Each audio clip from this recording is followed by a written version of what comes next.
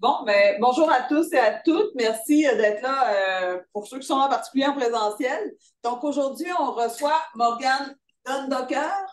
C'est ça? Pas mal, pas mal, ouais. Euh, donc, Morgane, elle est, elle est postdoc ici à l'ISFAR depuis, depuis quelques temps, en fait, depuis février 2023. elle a un master en bioingénierie, gestion des forêts et des espaces naturels à l'Université catholique de Louvain en Belgique. Euh, un doctorat en écologie forestière à l'Université catholique de Louvain aussi, en collaboration avec le CIRAT, qui est le Centre de coopération internationale en recherche agronomique pour le développement. Et euh, elle a été postdoctorante euh, aussi à l'Université catholique de Louvain et chercheuse associée à l'UMR CELMET de le CIRAT de Montpellier, en fait, durant deux ans, pour un projet européen sur le cycle du carbone dans les territoires agro-silvo-pastoraux. Euh, d'Afrique de l'Ouest. Donc, aujourd'hui, elle va nous parler, en fait, de ce postdoc-là, je crois, non? De ma thèse et de mon postdoc, oui. Parfait, mais bienvenue Morgane, merci beaucoup. On t'attrape au vol puisque tu nous quittes euh, samedi. Samedi, oui. Alors, euh, profitez-en, hein, tout le monde, parce que ça ne durera pas longtemps. merci. Merci Karine pour l'introduction. Euh, bah oui, donc comme Karine l'a dit, je vais essayer, j'ai fait une présentation pour un peu faire une synthèse de, de mes travaux de thèse et de postdoc. Donc, vous verrez que euh, j'ai pas tout fait durant ma thèse. Il y a certaines euh, recherches que j'ai menées durant mon postdoc, mais j'ai essayé de créer un fil rouge pour euh, vous parler un peu des, dynamiques spatiales et temporelles d'une savane dans le Sahel sénégalais. et je vais étudier ça sous l'angle de la diversité fonctionnelle. Je vais, je vais vous expliquer ce que c'est après pour ceux qui ne sont pas familiers avec ces concepts. C'est très perturbant d'avoir trois écrans.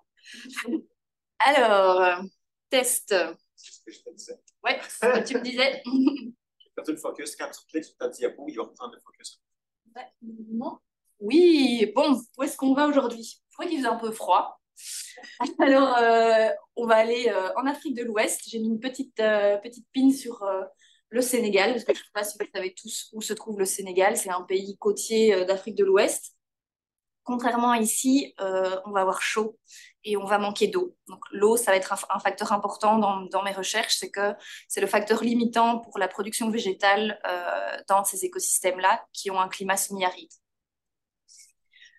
J'ai divisé ma présentation en trois parties. Donc, dans un premier temps, je vais un peu vous présenter le contexte, euh, le contexte sahélien, donc le Sahel qui est une zone bioclimatique euh, d'Afrique. Je vais vous parler des formations végétales qu'on trouve, euh, d'un système d'exploitation des terres qui est le silvopastoralisme et de quelques enjeux majeurs de cette zone.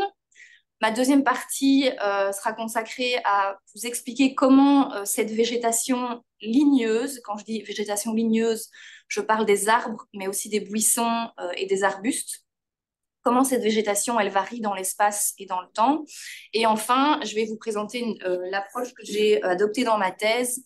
Euh, j'ai essayé d'étudier, enfin d'évaluer la résilience de ces écosystèmes via une approche fonctionnelle. Alors, le Sahel, grosso modo, ça ressemble à ça. Je trouvais cette, photo assez sympa. Vous verrez dans ma présentation, j'ai pris plusieurs photos. J'ai eu la chance de pouvoir utiliser un drone euh, durant mes recherches. Et donc, j'ai beaucoup de photos en vue aérienne. Et je trouve que ça illustre assez bien euh, l'endroit où j'ai fait mes, recherches de thèse. Parce que vous voyez euh, toutes ces petites. vous voyez que les arbres, ils ne sont pas répartis de manière uniforme dans l'espace. On est dans une savane. Euh, mais il y a des, endroits où il n'y a presque pas d'arbres et des endroits où les arbres sont un peu accumulés. Et ces endroits, c'est ce qu'on appelle des micro, ce sont des micro-dépressions topographiques où l'eau euh, s'accumule.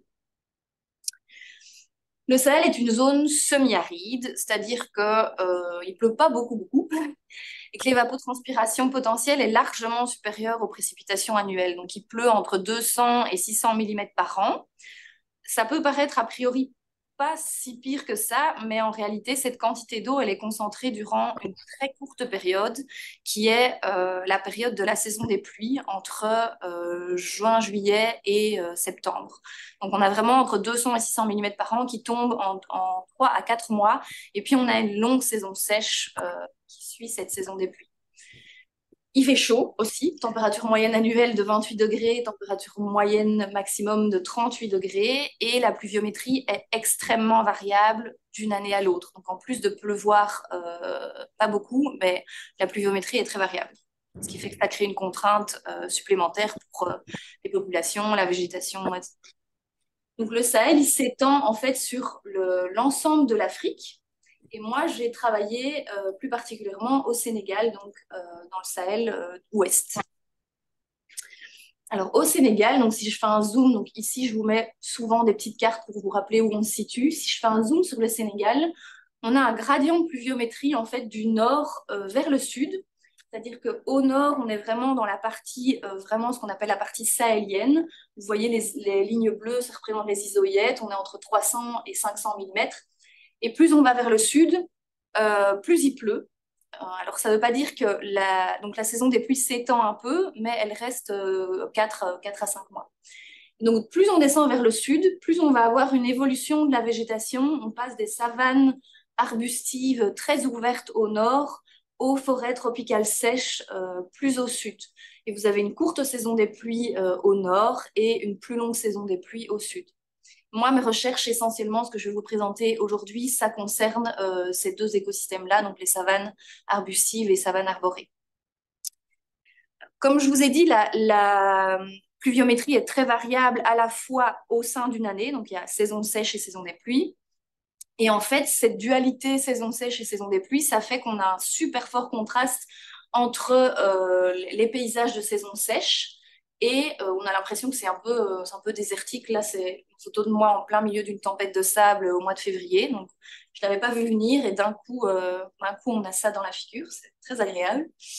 Et en saison des pluies, en fait, en quelques semaines, on a vraiment le paysage qui se transforme. C'est super impressionnant à voir. Donc, on a vraiment la strate herbacée qui était totalement absente en saison sèche toutes les herbacées, toutes les plantes commencent vraiment à, pousser, les, feuilles, les arbres, euh, enfin les feuilles des arbres ressortent, etc.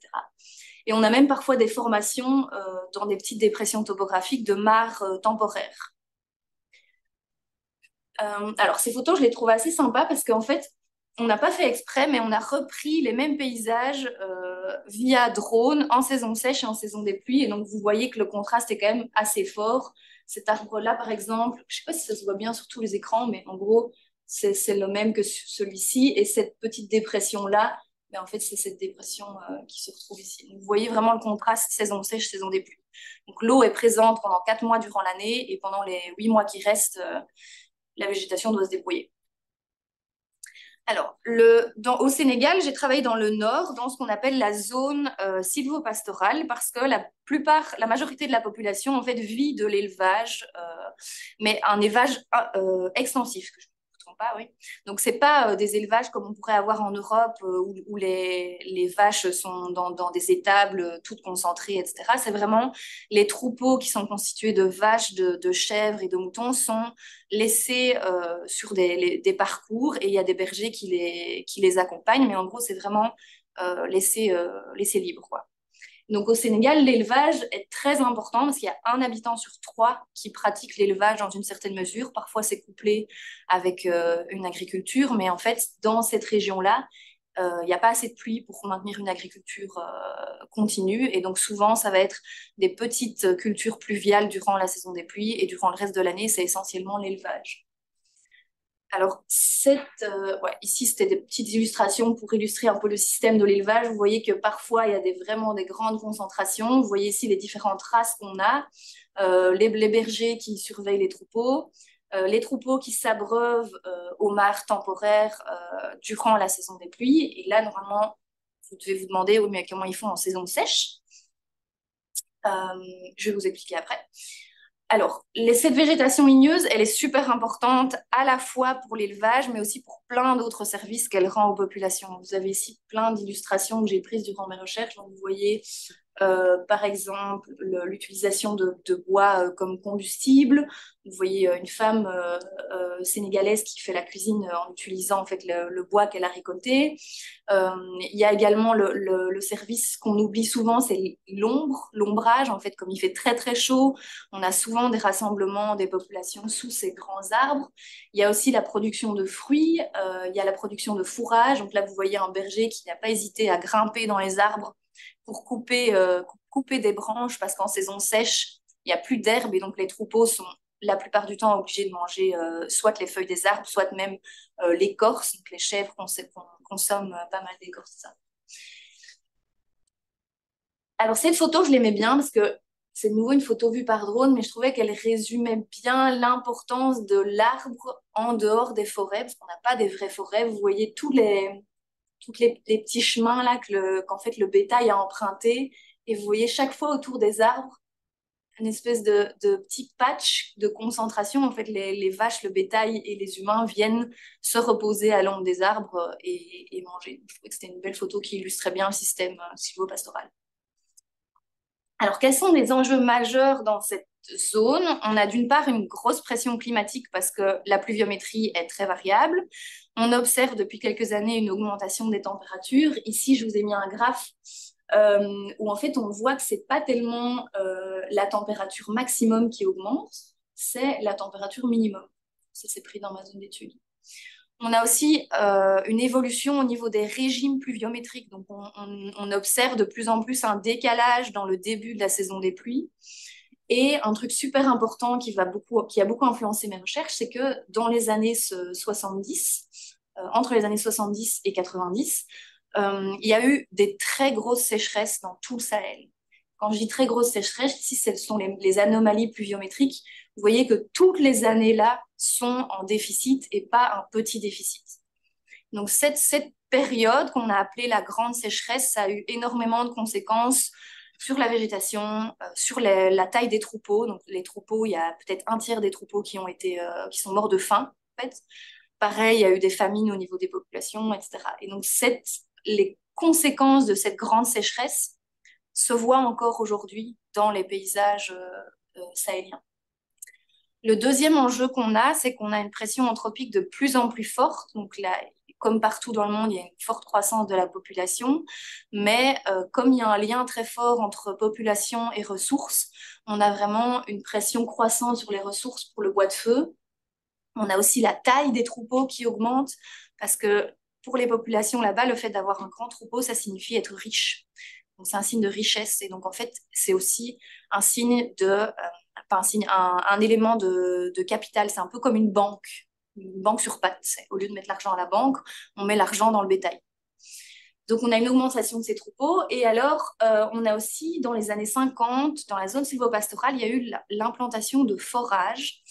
Dans les années 50, on a découvert une, qui avait une nappe aquifère. Et donc, on a commencé, euh, l'État a décidé euh, de creuser des puits de forage pour aller chercher l'eau dans la nappe en se disant ah ben c'est super bien les éleveurs auront accès à l'eau toute l'année alors que auparavant pendant huit mois ben, il n'y avait pas d'eau et les éleveurs avec leurs troupeaux migraient soit vers le, nord où on a le fleuve Sénégal ici soit ils migraient vers le sud où si vous vous souvenez je vous ai dit que la végétation était enfin plus humide vers le sud. Et donc avec l'arrivée de ces points d'eau sur la carte ici sont tous les petits triangles et le rose, enfin, je ne sais pas si vous voyez ça rose, mais la couleur autour des points d'eau, ce sont des, rayons de 15 km et on estime que chaque forage, c'est la zone drainée par un forage. Donc les troupeaux sont capables de se déplacer dans un rayon de 15 km pour aller chercher l'eau au forage. Et comme on a eu cet accès à l'eau permanent, euh, les éleveurs qui auparavant étaient plutôt nomades et pratiquaient la transhumance se sont mis à s'installer de manière plus permanente autour de ces forages. Et donc la pression sur la végétation, euh, bah, elle, a, fortement augmenté, vu qu'auparavant, on avait quand même quelques mois dans l'année où les troupeaux n'étaient pas là, et donc la végétation, les arbres pouvaient un peu se reposer, entre guillemets. Alors ça, c'était une, photo en fait de, vue de satellite, ça donne ça, un forage. Vous voyez qu'il y a une concentration d'habitants euh, autour de ces points d'eau, et vous voyez tous les, les, chemins que les troupeaux empruntent pour aller s'abreuver au forage. Euh, ici, je voulais faire un petit résumé de ce qu'on observe depuis la grande sécheresse, en fait. juste après la grande sécheresse, on a observé des fortes mortalités au niveau des peuplements ligneux. Et à partir des années 80, en fait, il y a eu beaucoup d'études de de télédétection qui ont vu qu'il y avait une, augmentation dans le NDVI. le NDVI, je ne sais pas si tout le monde connaît, mais en gros, c'est un indice euh, de végétation qu'on mesure à partir d'images satellites et qui est corrélé avec la biomasse végétale. Donc on s'est dit, bah, super, le NDVI augmente, ça veut dire qu'il y a plus de biomasse et donc ça veut dire que le Sahel reverdit et que donc la grande, le, Sahel est résilient par rapport à ce qui s'était passé euh, durant la grande sécheresse. Sauf qu'en fait, euh, et donc à la place d'avoir une, hypothèse de désertification qu'on avait juste après cette grande sécheresse, ben, les scientifiques ont commencé à se dire, OK, en fait, il n'y a pas tellement de désertification vu que le Sahel reverdit. Sauf que le NDVI, il est couplé à la production de biomasse, mais augmentation de la productivité, ça ne veut pas nécessairement dire résilience de l'écosystème. Ici, je vous ai mis euh, quelques articles qui prouvaient qu'en fait, il y avait des changements euh, observés sur le terrain au niveau de la composition de la végétation, de la richesse spécifique, qui n'étaient pas visibles à partir de télédétection. Et que donc, malgré une augmentation globale de la productivité, mais la productivité, ça peut être lié à l'herbe aussi, pas seulement les arbres, malgré cette augmentation de productivité, on avait quand même des indicateurs qui disaient que, OK, l'écosystème est en train de changer, euh, et à quel point est-ce qu'il est en train de changer? Ben, Ça, c'est les études de terrain qui vont, qui vont nous dire. Et donc, au niveau du terrain, donc il y a eu pas mal d'études qui ont été faites et qui ont prouvé donc, ce que je viens de vous dire, en fait, la diminution de la diversité spécifique et dans la densité des arbres euh, et changement dans la composition spécifique des communautés. Et aujourd'hui, en fait, hmm, les recherches de ma thèse, essentiellement, euh, ont tourné, ont été axées autour de, J'avais envie de répondre à la question quelle est la résilience de cette végétation? Résilience vue comme la capacité de la végétation ligneuse à, à persister dans le temps et à continuer à fournir les services écosystémiques qu'elle fournit actuellement dans le système euh, sylvopastoral du Ferlo. Quand je dis Ferlo, c'est la zone sylvopastorale du Sénégal. Je ne sais pas si je l'ai dit. Euh, ok, je peux passer à la deuxième partie. Je vais un peu vous expliquer euh, comment cette végétation varie dans l'espace et dans le temps dans ma zone d'étude. Euh, durant ma thèse, j'ai fait pas mal de terrain, toujours au nord du Sénégal, dans le Sahel. J'avais fait des inventaires sur, plus de 150 placettes. J'avais recensé tous les individus adultes. Alors, vous voyez des photos dans, dans, un paysage très ouvert, mais il faut se dire que quand on prend des photos, c'est que c'est pas compliqué de prendre des photos. Il y avait des, peuplements qui étaient bien plus fermés, avec des épines, des buissons, où on devait ramper en dessous pour, pour mesurer les arbres. Mais euh, malheureusement, quand c'est difficile, on prend pas toujours des photos. Donc, j'ai mesuré plus de 3000 arbres et buissons et j'ai aussi fait un inventaire complet de la régénération. Donc, chaque fois que je voyais un tout petit, tout petit truc euh, comme ça, c'était pas facile à repérer, mais j'avais l'aide d'un éleveur de, la zone qui était spécialisé en végétation et qui connaissait toutes les espèces sur le bout de ses doigts et qui savait reconnaître euh, une espèce quand elle avait 2 cm de haut. C'était impressionnant. Euh, et donc, j'ai recensé toute cette, toute cette régénération et j'ai aussi regardé comment est-ce qu'elle euh, s'organisait dans l'espace par rapport aux arbres adultes pour essayer de comprendre le rôle de ces arbres sur cette régénération. Alors, ce que j'ai observé, c'est que, euh, bah, vous l'avez déjà un peu deviné avec les photos que j'ai montrées, mais qu'on a une densité extrêmement variable de ces, arbres et des buissons. On est entre 8 et 850 individus par hectare. C'est une échelle de 800, euh, enfin de 100, c'est énorme. Il y a vraiment des endroits où on, a, euh, on peut regarder, on a 100 mètres devant nous sans arbres, et puis des endroits où on ne sait plus où donner de la tête. On a une surface terrière, je ne sais pas si il y a des forestiers dans la salle, mais j'ai mis le, la surface terrière euh, au cas où ça vous intéresserait. Je ne sais pas si vous savez ce que c'est, mais en gros, dans les, en foresterie, la surface terrière, c'est comme si on coupait tous les arbres du peuplement et qu'on mesurait la superficie de, ce qu'on a coupé ramenée à la superficie du sol. C'est un indicateur en gros de la densité et de la quantité de bois qu'il y a sur une superficie donnée. On a un recouvrement qui est euh, variable aussi, entre 3 et 15 et on a des arbres qui ne sont pas si hauts que ça. Les maximum 15 mètres, c'est pas si haut quand on voit euh, les arbres qu'on a ici. Et cette zone, en fait, elle, a très peu d'espèces. On a 26 espèces inventoriées dans une zone d'étude de 1400 km et on a 16 arbres et 10 buissons et arbustes. Et une des observations intéressantes et pas très euh, encourageantes pour le futur, c'est que 85% des individus recensés appartiennent à trois espèces. On a un arbre et deux buissons. Et ces trois, euh, ah, ces trois espèces regroupent 85% des individus du peuplement. Alors, dans l'espace, je vous avais déjà montré ces photos-là où on voyait l'agglomération des arbres. En fait, c'est le, l'eau, comme l'eau est le facteur limitant de cette végétation, on va avoir un regroupement d'arbres dans des petites dépressions topographiques. Donc, chaque fois que vous voyez euh, un petit agglomérat d'arbres, ça correspond à une dépression topographique. Et dans certaines de ces dépressions, durant la saison des pluies, on peut avoir formation d'une mare temporaire. Vous voyez ici ces deux photos, ça représente la même zone en saison sèche et en saison des pluies. Et vous voyez que là, on se croirait en forêt tropicale. C'est tout fermé, euh, donc ça explique le 850 individus par hectare dans une grande dépression topographique. Et là, on est sur un versant où il y a euh, moins d'eau disponible et donc il y a moins de, végétation qui pousse. Pour vous donner des chiffres euh, entre dépression topographique et sommeil versant, j'ai fait des petits box plots ici. Donc vous voyez que en moyenne, les communautés des, des dépressions sont plus diversifiées. Donc on a en moyenne quatre euh, espèces. Je sais que comparé au Québec, c'est rien du tout, mais pour là-bas, c'est pas mal. On a quatre espèces en moyenne dans les dépressions et seulement deux dans les sommets. On a également une plus grande densité des adultes et une plus grande densité des jeunes plants et des plantules. On a vraiment ces dépressions qui accumulent, par leur disponibilité en eau plus élevée, accumulent une plus grande richesse et une plus grande densité de végétation. Et dans une des recherches que j'ai menées euh, durant mon postdoc, je me suis intéressée en fait euh, aux différents types de dépressions topographiques. Je me suis dit, bah, ok, en fait, les dépressions, elles sont pas toutes les mêmes. Il y en a de différentes tailles, il y en a de différentes profondeurs, le type de sol peut être différent. Et donc, ce qu'on a fait avec un étudiant euh, et des collègues, c'est qu'on a cartographié via image satellite toutes les dépressions dans un rayon autour d'un forage. Et on a été échantillonner certaines de ces dépressions de façon à avoir des petites dépressions et euh, des plus grandes dépressions. Et notre hypothèse, c'était qu'on s'imaginait que dans les plus grandes dépressions, mais il y avait plus de richesse spécifique. Et en observant ça, en fait, on a étudié différents facteurs pour essayer de comprendre quels étaient les facteurs qui influençaient le plus les communautés végétales. Donc, pour chaque dépression, on a regardé sa superficie, on a regardé le nombre de strates, donc s'il y avait seulement des arbres, ou bien seulement des arbustes, ou bien arbres, arbustes, buissons.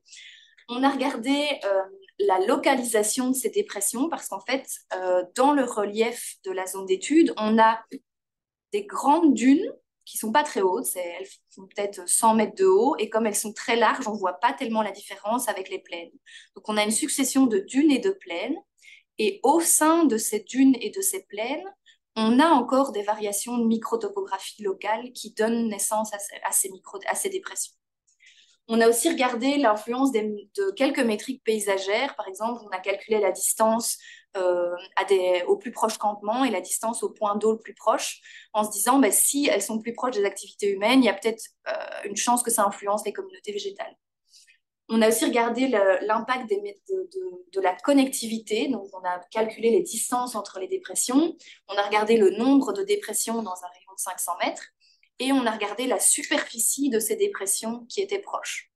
Parce qu'on se disait que si les dépressions étaient bien connectées, il y avait potentiellement des échanges de graines entre dépressions et que donc ça favoriserait peut-être une, une richesse spécifique plus importante dans la dépression étudiée ce qu'on a observé, donc c'est si on, donc ça c'est tout, ce sont toutes les, on a, on a inventorié 60, une soixantaine de dépressions. On a, à partir de, des compositions spécifiques de ces dépressions, regardé comment elles, elles, euh, elles se mettaient dans l'espace. C'est une, NMDS, c'est un peu la même chose qu'une PCOA. En gros, plus le, deux dépressions sont proches, plus elles, elles présentent euh, une composition euh, commune en termes de composition spécifique. Et en, orange et en vert, ce sont la position des espèces. Donc, plus une espèce est proche d'un point indiquant un, relevé, plus ça veut dire qu'il y a cette espèce-là qui est présente dans le relevé. Ce qu'on a remarqué, c'est qu'en vert, toutes les... Ça passe vert ou à l'écran? Oui, plus ou moins. en gros, toutes les, espèces qui sont un peu en, en plus foncé, ce sont des espèces qu'on retrouve uniquement dans les dépressions. C'est-à-dire qu'elles ne sont pas retrouvées sur les versants et les sommets et dans ce quartier-là, en fait, on a fait des, analyses entre les axes de cette NMDS et la, la, superficie des dépressions. On observe que plus on va vers ce quartier-là, plus les dépressions sont grandes.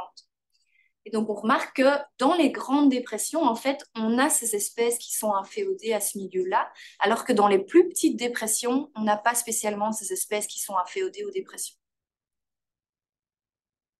Et donc, les conclusions, en fait, c'est que les plus grandes dépressions euh, topographiques abritent un grand nombre d'espèces. C'est le facteur euh, c'est le driver principal de la composition spécifique, c'est la, superficie de la dépression et pas tous les autres facteurs que je vous ai cités auparavant. Et que dans ces grandes dépressions, les espèces qui contribuent le plus à cette richesse spécifique, ce sont des espèces qu'on retrouve uniquement dans ces milieux-là. Les dépressions sont vraiment un endroit euh, particulier dans, le paysage. Ce sont des hotspots de diversité et de diversité qu'on ne retrouve nulle part ailleurs. Alors, je vais maintenant vous expliquer. Donc là, c'était pour un peu vous parler de la dynamique spatiale. Maintenant, je vais vous expliquer comment les peuplements euh, vont évoluer dans le temps à partir d'une analyse de la régénération et comment est-ce que les peuplements ont évolué depuis la période de la grande sécheresse. Donc, la régénération, vous savez tous, je pense, que c'est une caractéristique des peuplements super important parce que ça permet en quelque sorte de prédire le futur du peuplement. Si on a beaucoup de régénération, ben, on s'attend à ce que dans 10-15 ans, ben, la forêt se, régénère, la forêt ou la savane dans ce cas-ci se régénère et donc c'est bon signe d'avoir euh, d'avoir beaucoup de régénération. Seulement, ce qu'on a observé, c'est que, de nouveau, comme les adultes, la régénération était concentrée sur les trois espèces dominantes. Donc, il y a 80 à 94 des, des, plantules et des jeunes plants qui appartiennent aux trois espèces. Alors ça, c'est déjà un indicateur euh, d'assez mauvais augure pour le futur du peuplement.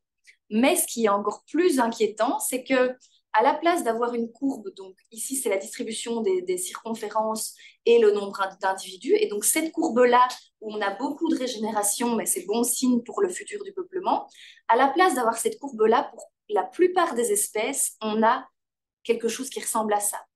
C'est-à-dire qu'on a des plantules, mais les plantules ne passent pas le cap d'établissement. On a zéro jeune plant, virtuellement zéro jeune plant les espèces sont capables de produire des plantules, mais il y a un truc qui fait que ces plantules ne sont pas capables de s'installer dans le peuplement. Et donc, pour au moins la moitié des espèces, on a cette absence de jeunes plants, ce qui veut dire que le futur de ces 12 espèces sur 24, bah, il n'est pas garanti du tout. Alors, pour ce qui est de, de l'influence, on peut se demander pourquoi est-ce que certaines espèces arrivent à se régénérer et pourquoi est-ce que d'autres espèces n'arrive pas. Et ce qu'on a essayé de regarder, c'était euh, l'influence du couvert sur cette, cette régénération.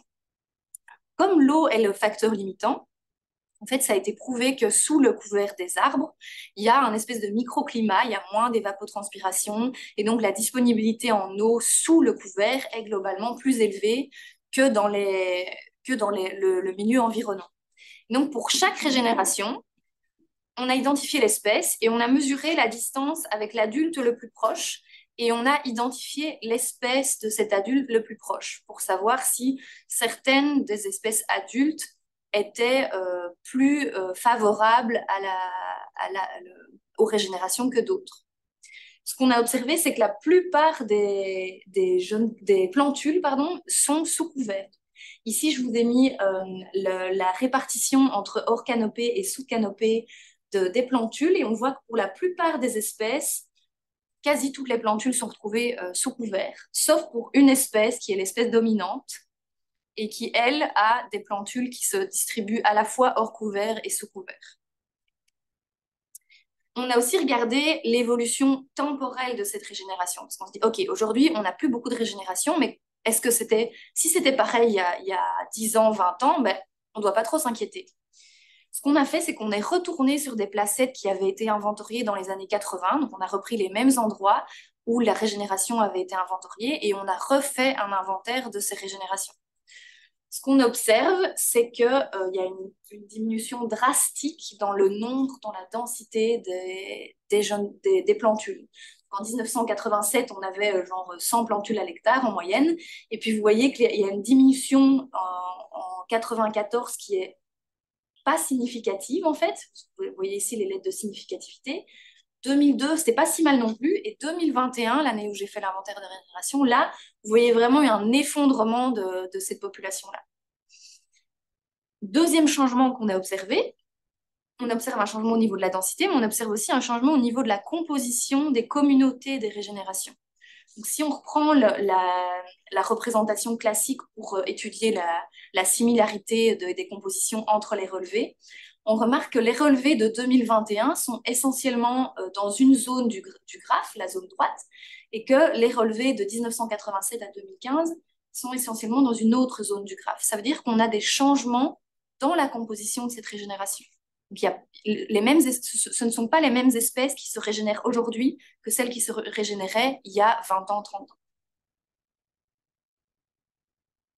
Donc, on peut se demander comment est-ce que le peuplement a évolué. Le peuplement adulte a évolué depuis euh, les années. Ici, j'ai pris 1965 parce que ma première source de données, c'était 1965. Et si vous vous rappelez, 1965, c'est avant les grandes sécheresses. Donc, on part de l'hypothèse que cet écosystème-là, en fait, c'est un peu notre écosystème de référence auquel on va comparer l'écosystème d'aujourd'hui. Pour ça, j'ai utilisé euh, différentes sources de données. Donc, souvent, les études euh, de télédétection ou les études de terrain étaient un peu séparées. Donc, il y avait soit des, euh, remote sensing guys, que je les appelle, qui faisaient leurs petits trucs dans leur coin avec leurs images satellites. Alors, je critique pas du tout, c'est hyper intéressant d'avoir ça, mais c'est aussi intéressant d'avoir le couplage entre terrain et satellite. Donc, j'ai utilisé à la fois des inventaires de terrain, donc ceux que j'avais réalisés dans ma thèse, des bases de données historiques qui me donnaient en fait euh, plein d'inventaires qui avaient été réalisés dans la zone euh, depuis, les années, euh, depuis les années 65. Et j'ai utilisé des images aériennes et des images satellites. Et ma première image satellite dont que je disposais, c'était des images de 1965. Et donc entre 1965 et 2018, j'ai plusieurs, plusieurs dates auxquelles j'ai des images satellites et des images aériennes. Donc, j'ai distribué mes sites. Euh, euh, donc, ça, c'est en fait la distribution des sites des inventaires historiques, qui ont été réalisés pas par moi, mais par d'autres d'autres chercheurs. Ici, j'ai superposé euh, les images du satellite Corona que j'ai géoréférencé pour qu'il matche avec ma zone d'étude. Et j'ai distribué sur cette zone d'étude différents carrés de 1 km. J'ai distribué ces carrés à la fois sur les dunes et à la fois sur les plaines pour voir s'il y avait une différence dans, l'évolution euh, selon le macro-relief. Donc là, euh, pour chaque, chaque site, j'ai euh, compté en fait les individus. C'était extrêmement fastidieux parce que j'ai dû compter à la main. J'étais en relation avec une équipe de télédétection de Copenhague. Ils m'ont dit non, non, pas moyen de le faire autrement. Tu vas compter les arbres à la main. J'étais ok, super, ça va être, ça va être fun. J'ai également extrait le recouvrement. Alors ça, c'était plus facile parce que en fait, si vous voyez sur la photo, toutes les, tous les points noirs, ce sont des arbres. Donc, simplement en appliquant un filtre pour, euh, euh, selon les valeurs de pixels, on peut extraire le recouvrement. Ici, vous voyez que j'ai tous les petits points rouges, ce sont les arbres, et donc j'ai pu avoir des valeurs de recouvrement pour mes différents sites.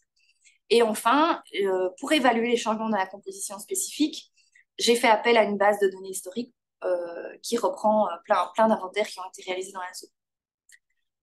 Euh, alors, ce qu'on observe, ici, je vous ai mis la série en fait des images satellites et aériennes dont je disposais, donc entre 1965 et entre 2018. Donc ça, c'est le même site pour les quatre dates. C'est un site qui est, qui est localisé euh, sur une dune, et ça, c'est un site qui est localisé sur une plaine. Vous voyez qu'en 1965, euh, comparé à 2018, visuellement, ça se voit tout de suite vous voyez qu'il y a vraiment une diminution de la densité, rien qu'entre 1965 et 1980. Donc c'est juste pendant la grande sécheresse, il y a eu quand même une forte diminution.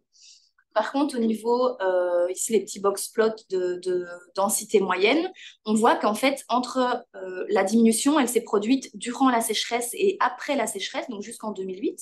Par contre, entre 2008 et 2018, on a, il y a l'air d'avoir une stabilisation au niveau densité, on se dit, OK, on, est plus ou moins dans des, dans des valeurs euh, un, peu stables. Au niveau de la composition spécifique, ici, ce que j'ai représenté, je voulais voir euh, les changements dans la fréquence des espèces. Donc, à quel point une espèce était fréquente euh, actuellement. Donc, la fréquence, c'est le nombre de relevés dans lequel une espèce est inventoriée. Et là, ce qu'on observe, c'est qu'en fait, mais, toutes les la plupart des espèces, elles sont en diminution depuis, euh, depuis 50 ans. On a une seule espèce qui est classée euh, comme en augmentation et on a quelques espèces qui sont, qui sont considérées comme stables. Il y a 65% des espèces qui sont en diminution et seulement 30% des espèces qui sont stables. On a aussi des changements, ça va être pareil que pour les communautés de régénération, on a des changements dans la, dans la composition des, des communautés. Ici, ce que vous voyez, c'est que euh, tous les, relevés en, triangle bleu foncé, ce sont des relevés qui ont été réalisés après la grande sécheresse. Et les, carrés verts, ce sont tous des relevés qui datent d'avant la sécheresse.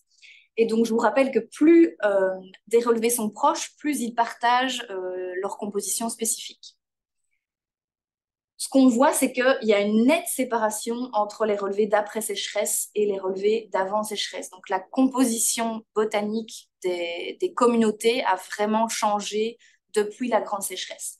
Et ce qu'on observe aussi, c'est que, on ne l'avait pas bien mis, il devrait être un peu plus bas, mais ces trois espèces-là, ce sont trois espèces de buissons. Et ces trois espèces-là, ils sont en forte augmentation depuis, depuis les années 65. Donc on a, on a un changement d'une communauté où il y avait plus d'arbres, de vrais arbres, à on passe à une communauté où il y a plus d'arbustes et plus de buissons. Et donc si vous vous rappelez, pour la régénération, ce sont les grands arbres qui sont importants, ce pas les buissons. Donc là, on a un problème. Alors, euh, je le disais, on a un problème et je vais essayer de quantifier un peu ce problème euh, et d'évaluer ce qu'on appelle la résilience en utilisant une approche fonctionnelle. Je vais vous expliquer ce que j'entends par approche fonctionnelle. D'abord, je voulais vous montrer ces petites photos. Euh, en général, quand on veut restaurer des terres dégradées, on pense toujours « Ah, on va faire des plantations, ça va être trop bien ». Sauf que les plantations qu'on fait dans le Sahel, ça ressemble à ça. Donc, c'est des lignes d'arbres, souvent qui appartiennent à une même espèce. L'espèce est locale, pas ça le problème, mais euh, donc on a vraiment ces lignes de... Ici, c'est de l'acacia sénégal qui a été plantée en bande. On a ces lignes. Le problème, c'est qu'il y a une espèce, et en plus, le problème, c'est qu'il y a des fortes mortalités dans les plantations. Donc, je ne sais pas si vous avez entendu parler du projet de la Grande Muraille Verte en Afrique, mais en fait, c'est un projet euh, panafricain qui vise à planter plein d'arbres pour arrêter l'avancée du désert. Ça, c'est la, promo euh, grand public, c'est arrêtons l'avancée du désert. Sauf que ça n'a pas été prouvé que le désert avançait. Il faut s'entendre sur les termes. Et deux, ils espèrent planter une espèce de barrière en plantant une seule espèce qui est intuitivement peut-être pas forcément la meilleure manière de ravoir tous les services écosystémiques si on n'a qu'une seule espèce. Et en plus, l'espèce euh, ne, persiste pas bien dans l'environnement. Il y a beaucoup de mortalité observée dans les plantations. Donc, je rappelle la question.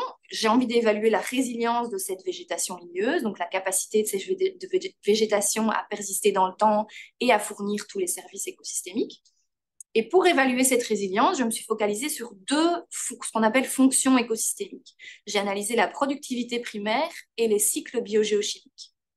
Et je me suis concentrée sur trois euh, pressions, perturbations qu'on rencontre régulièrement dans la zone, la sécheresse, le pâturage et les feux de brousse. Euh, oui, donc ça c'était juste pour montrer que l'article avait été publié au cas où ça intéresserait quelqu'un.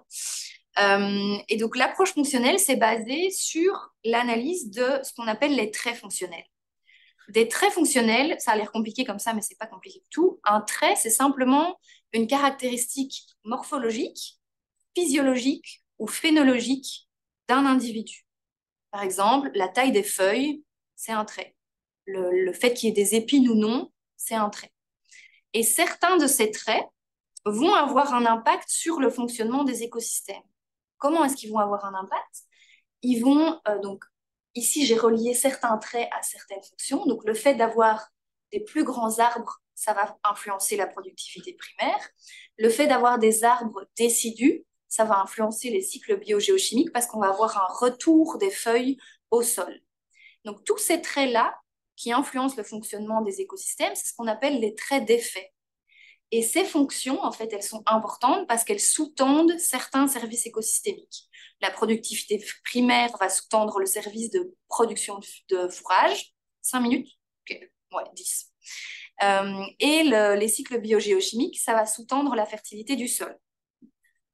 D'autres traits vont avoir un impact sur comment l'espèce réagit à certaines perturbations. Qu'est-ce que j'entends par là? C'est que, euh, par exemple, une espèce qui a une profondeur racinaire plus importante, elle va être plus à même d'aller puiser l'eau en profondeur. Donc, ce genre de traits, c'est ce qu'on appelle des traits de réponse. Ces traits de réponse, face aux perturbations, l'ensemble de ces traits va constituer des stratégies de réponse de la plante qui vont influencer sa croissance, sa reproduction et sa survie dans l'environnement. Moi, ce que j'ai fait de... Ah oui, d'abord, je voulais vous présenter ce que j'ai utilisé comme indicateur de résilience, ce qu'on appelle la diversité de réponse. La diversité euh, fonctionnelle, d'abord, c'est la diversité des valeurs de traits qui sont présents dans une communauté. Alors, comment est-ce que ça peut être un indicateur de résilience? On va prendre l'exemple euh, euh, d'une communauté où il y a trois espèces. Il y a deux espèces qui sont capables de fixer l'azote, une espèce qui n'est pas capable de fixer l'azote ce, trait-là, cette caractéristique-là, ça a un impact sur l'effet de l'écosystème et sur le cycle biogéochimique. Si on regarde maintenant des traits euh, de réponse pour regarder comment est-ce que ces espèces sont sensibles à la sécheresse, on sait que cette espèce-là est sensible et ces deux espèces-là sont résistantes. Si maintenant on a une sécheresse, on va éliminer l'espèce qui est sensible de nos communautés. Sauf que comme on avait deux espèces qui étaient fixatrices d'azote et qui en avait une qui était sensible et une qui était résistante, on va avoir la persistance de ces effets dans l'écosystème. Et donc le fait d'avoir différentes stratégies de réponse pour des espèces qui contribuent de la même manière aux écosystèmes, au fonctionnement de l'écosystème, ça va garantir cette résilience, ça va garantir que on continue à avoir les services écosystémiques fournis. Ça, j'ai dit ce que c'était. Donc là, je suis en train d'un peu accélérer pour vous montrer le clou de ma présentation. Euh, donc, ce que j'ai étudié, ce sont les, deux fonctions, donc service, euh, cycle biogéochimique et productivité primaire. Et on a classé les espèces selon qu'elles avaient un impact similaire sur l'écosystème, comme je vous ai montré à la dia d'avant. On a fait ce qu'on appelle des groupes fonctionnels. On a, on a groupé des espèces A avec des, espèces C. On sait qu'elles elles impactent de manière similaire cet écosystème. Et pour chaque groupe fonctionnel, ce qu'on a regardé, c'est comment est-ce que ces espèces réagissaient à la sécheresse Est-ce qu'il y avait une diversité de réponses dans ces réactions?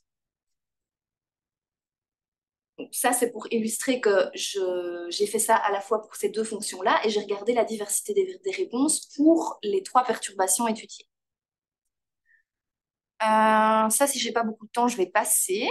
Euh, hop, et je vais directement aller à euh, cette dia-là, où je, vous montre comment j'ai groupé les espèces. Alors, pour avoir les traits euh, liés à certains effets et les traits liés à certaines réponses, j'ai fait une revue de la biblio où en fait des, des, scientifiques ont simplement étudié les liens qu'il y avait entre traits et fonctionnement de l'écosystème ou bien traits et réponses aux perturbations. Et donc j'ai toute une liste de traits pour chacune des fonctions étudiées et chacune des perturbations étudiées. Et en fonction de ça, j'ai groupé les espèces selon leur similarité des effets sur les écosystèmes. Donc ici, j'ai, euh, c'est pas important. En gros, j'ai fait deux groupes fonctionnels pour la productivité primaire et trois groupes fonctionnels pour les cycles biogéochimiques. Alors là, ça devient plus intéressant. C'est que euh, on peut représenter, euh, ça c'est un dendrogramme qui représente la, distance euh, qu'il y a en termes d'effet sur l'écosystème entre les espèces. Et si on regarde ça en, deux dimensions, on voit vraiment qu'il y a vraiment une bonne séparation dans mes groupes fonctionnels. Certaines espèces ont vraiment, ont vraiment un impact similaire sur l'écosystème. Et au sein de chacun de ces groupes, j'ai été calculer la diversité de réponses, donc la diversité des valeurs de traits en rapport avec leur réponse à certaines perturbations. Ici, je vous mets un exemple pour la réponse à la sécheresse. J'ai calculé cette diversité de réponses pour des communautés avant sécheresse et des communautés après sécheresse. Et vous voyez que globalement, pour tous les groupes fonctionnels, on a une baisse dans la diversité de réponses, qui n'est pas bon signe. Par contre, ce qu'on a observé, c'est qu'actuellement, la diversité de réponses, elle était très variable selon la topographie. Donc, ce qu'on avait observé au niveau des variations spatiales qui avaient plus de richesse spécifique, plus de densité au niveau des dépressions, ça se retrouve au niveau fonctionnel aussi. globalement, la diversité de réponses est plus élevée dans les dépressions. Et ça, c'est un truc intéressant si on veut mieux gérer l'écosystème. Donc, pour gérer l'écosystème, on pourrait se demander si la diversité de réponses est un indicateur de résilience et permet de maintenir cet écosystème et les fonctions euh, étudiées, comment est-ce qu'on peut maintenir cette diversité de réponses? Et pour ça, on va partir, j'en ai encore pour trois minutes. Pour ça, on va, on va partir de ce qu'on sait. Donc, avec toutes les études qu'on a faites, ce qu'on connaissait, on sait quelles espèces ont un impact similaire, à tels impacts sur l'écosystème. On connaît les groupes fonctionnels. On connaît l'abondance de ces espèces. on connaît la régénération de ces espèces. On sait que dans le paysage, il y a des zones de hotspot de diversité fonctionnelle et ces zones de hotspot, ce sont les dépressions. Et on sait que les groupes fonctionnels créés ne sont pas tous bien représentés dans l'écosystème actuel parce que la plupart des espèces euh, sont euh, soit en faible abondance, soit elles présentent une faible régénération. Et du coup, à partir de tout ça, ce qu'on a regardé, c'est simplement, euh, si on fait une division entre sommet et dépression, qu'on regarde les groupes fonctionnels pour les deux fonctions étudiées. Ici, ce que j'ai représenté, c'est le nombre d'espèces abondantes actuellement qu'il y a dans chaque groupe fonctionnel. Globalement, ce qu'on voit, c'est que pour la productivité primaire, chaque groupe fonctionnel a pas mal d'espèces et donc c'est bien d'avoir une redondance fonctionnelle, c'est bien d'avoir des espèces, plusieurs espèces au sein d'un groupe fonctionnel. Par contre, pour les cycles biogéochimiques, là, vous voyez qu'il y a certains groupes fonctionnels qui sont très peu représentés dans l'écosystème actuel. Au niveau des facteurs de risque, on sait qu'il y a une perte de diversité de réponse face à la sécheresse depuis les années 70 pour tous les groupes fonctionnels, ce que je vous ai montré. On sait aussi que certaines espèces, ici je les ai entourées en rouge, euh, il n'y a pas de régénération dans le peuplement actuel et que ces espèces-là sont en diminution depuis les années 70 et 2015.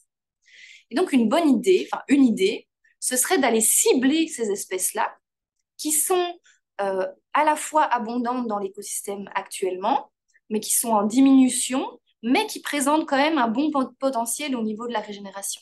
Et donc, en ciblant certaines espèces qui appartiennent à certains groupes fonctionnels, on pourrait euh, promouvoir ces espèces-là, donc les protéger, pour maintenir tous les, toutes les fonctions étudiées, tous les groupes fonctionnels étudiés. donc, c'est ce que je faisais dans, mon papier comme suggestion, c'est qu'avec cette approche-là, on arrive à identifier certaines espèces, soit à protéger, soit à favoriser, pour maintenir les groupes fonctionnels à risque. Et on pourrait également appliquer, comme on sait qu'il y a une forte euh, variation spatiale, différenciation spatiale entre dépression et sommet, il faut tirer parti de ces différenciations spatiales. On sait que dans les dépressions, la diversité de réponses est plus élevée et que donc pourquoi ne pas profiter de ces dépressions pour favoriser ces espèces ou des plantations autour de ces dépressions qui connecteraient ces dépressions de manière à maintenir euh, un écosystème euh, en, bonne santé, j'aime pas tellement ce terme-là, mais un écosystème qui est capable de fournir les, services écosystémiques dans un système sylvopastoral. Pour terminer, donc quelques points euh, que je trouvais assez intéressants à retenir. Je vous ai présenté un système euh, sylvopastoral, donc c'est-à-dire un système qui se base à la fois sur les ressources ligneuses, sylvo, et des ressources euh, liées à l'élevage, qui avait des liens forts entre les populations et l'environnement, et ces liens sont à prendre en compte dans le suivi et la gestion. C'est important de se rendre compte que le sylvopastoralisme, c'est l'activité principale dans ces zones, et donc, il faut en tenir compte dans, la gestion qu'on veut appliquer à ces écosystèmes. Deuxième point, c'est qu'on a observé que les communautés actuelles étaient fortement différenciées selon la topographie et on a identifié les dépressions comme étant à la fois des hotspots de diversité, mais aussi des habitats particuliers pour certaines espèces. Troisième point, depuis 50 ans, on assiste à des changements dans ces communautés. On a des compositions spécifiques différentes, on a eu une diminution de la densité, mais la densité a tendance à se stabiliser ces dernières années, donc ça, c'est pas plus mal. Par contre, on a une augmentation des buissons au détriment des grands arbres, ce qui peut poser problème à la régénération et ce qui pose d'ailleurs déjà problème. Et cette régénération, elle est extrêmement faible et peu diversifiée. Quatrième point, euh, les changements qu'on a observés au niveau temporel se reflète au niveau euh, temporalité de la diversité fonctionnelle. On a une baisse de cette diversité fonctionnelle depuis 50 ans.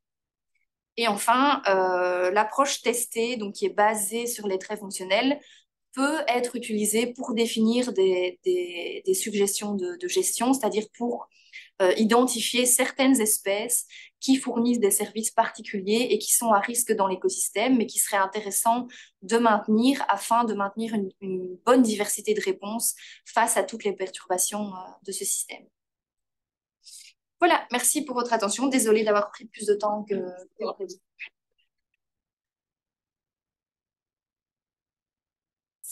Morgane. Est-ce qu'il y a des questions?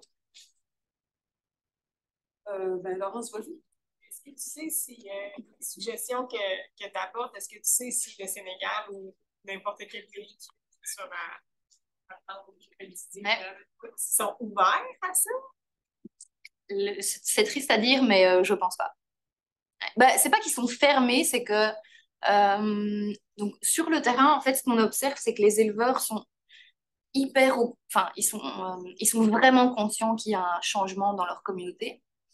Mais en fait, il y a tellement cette, cette, dépendance à leur troupeau qui est là comme les ressources sont gérées en fait en commun, c'est très compliqué d'appliquer euh, d'appliquer une gestion. Et au niveau de la loi, c'est euh, il y a il y a une montagne euh, à franchir qui est pas du tout qui est pas du tout franchissable. En fait.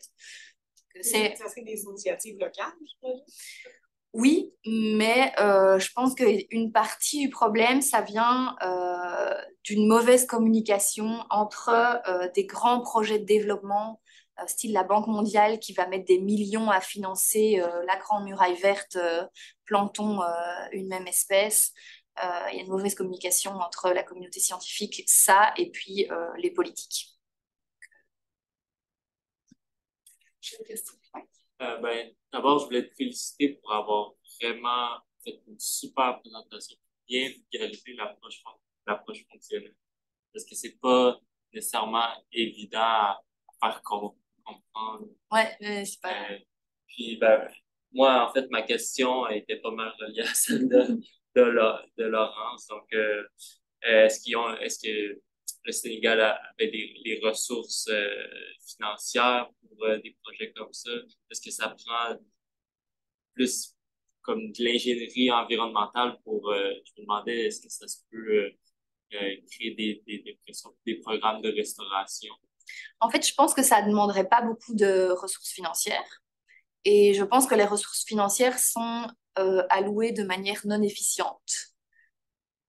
Style euh, les, projets de, développement, je pense que ça pourrait être vraiment bénéfique pour eux de, tirer parti de ces connaissances scientifiques parce qu'elles sont là euh, et d'allouer leur argent simplement au lieu de planter une espèce en bande, ben, faisons des plantations plus diversifiées, euh, qui se base sur des fondements scientifiques et pas, euh, et pas comme ça, juste parce qu'on veut allouer de l'argent au développement. Quoi. Mais c'est une question assez complexe, euh, les, tout ce qui est restauration et, développement. J'avais Benoît. Je me demandais, tu avais montré qu'il y avait comme la possibilité d'avoir des petits semis de régénération, mais qui ne se rendaient pas à l'âge adulte. Est-ce qu'il y a une pression de broutage? Ah oui, oui, oui. Ouais. C'est pas juste des contraintes environnementales. Non, ici, je me suis axée... En fait, c'est très difficile de distinguer les deux. Quand je vous expliquais les pressions anthropiques et climatiques, il y a euh, quelques études qui ont essayé de distinguer les deux, mais moi, dans ma thèse, je suis partie de l'idée que en fait, ces deux pressions étaient là et que ça m'intéressait pas forcément de distinguer les deux, mais simplement ce que j'allais observer sur le terrain, c'était ça. Mais c'est sûr que comme on voit que les espèces ont cette capacité à produire des plantules, en fait, ce qui peut faire qu'elles se rendent pas au stade suivant, c'est deux choses. Soit elles passent pas leur première saison sèche, soit euh, elles sont mangées. Et en fait, ce qu'on observe, c'est que dans les dépressions, c'est là qu'on rencontre le, le peu de jeunes plants qu'on a, c'est dans les dépressions. Donc, c'est dans les endroits où la disponibilité en eau est, plus élevée. La disponibilité en eau joue quand même, mais à la fois, on a aussi des systèmes de mise en défense qui ont montré que euh, avec une pression climatique semblable, quand on a une, pression de pâturage qui est d'intensité moyenne, ça favorise la régénération. Et quand c'est trop élevé, c'est vraiment pas bon. En fait, il y a un espèce de, de balance, d'équilibre entre zéro pression de pâturage, c'est pas tellement bon pour certaines espèces parce que certaines espèces dépendent du bétail pour la dispersion des graines et le fait que euh, les animaux mangent les fruits et puis que ça se retrouve dans leurs fesses, euh, en fait, ça facilite la germination. Donc, il y a certaines espèces qui tirent parti de ça.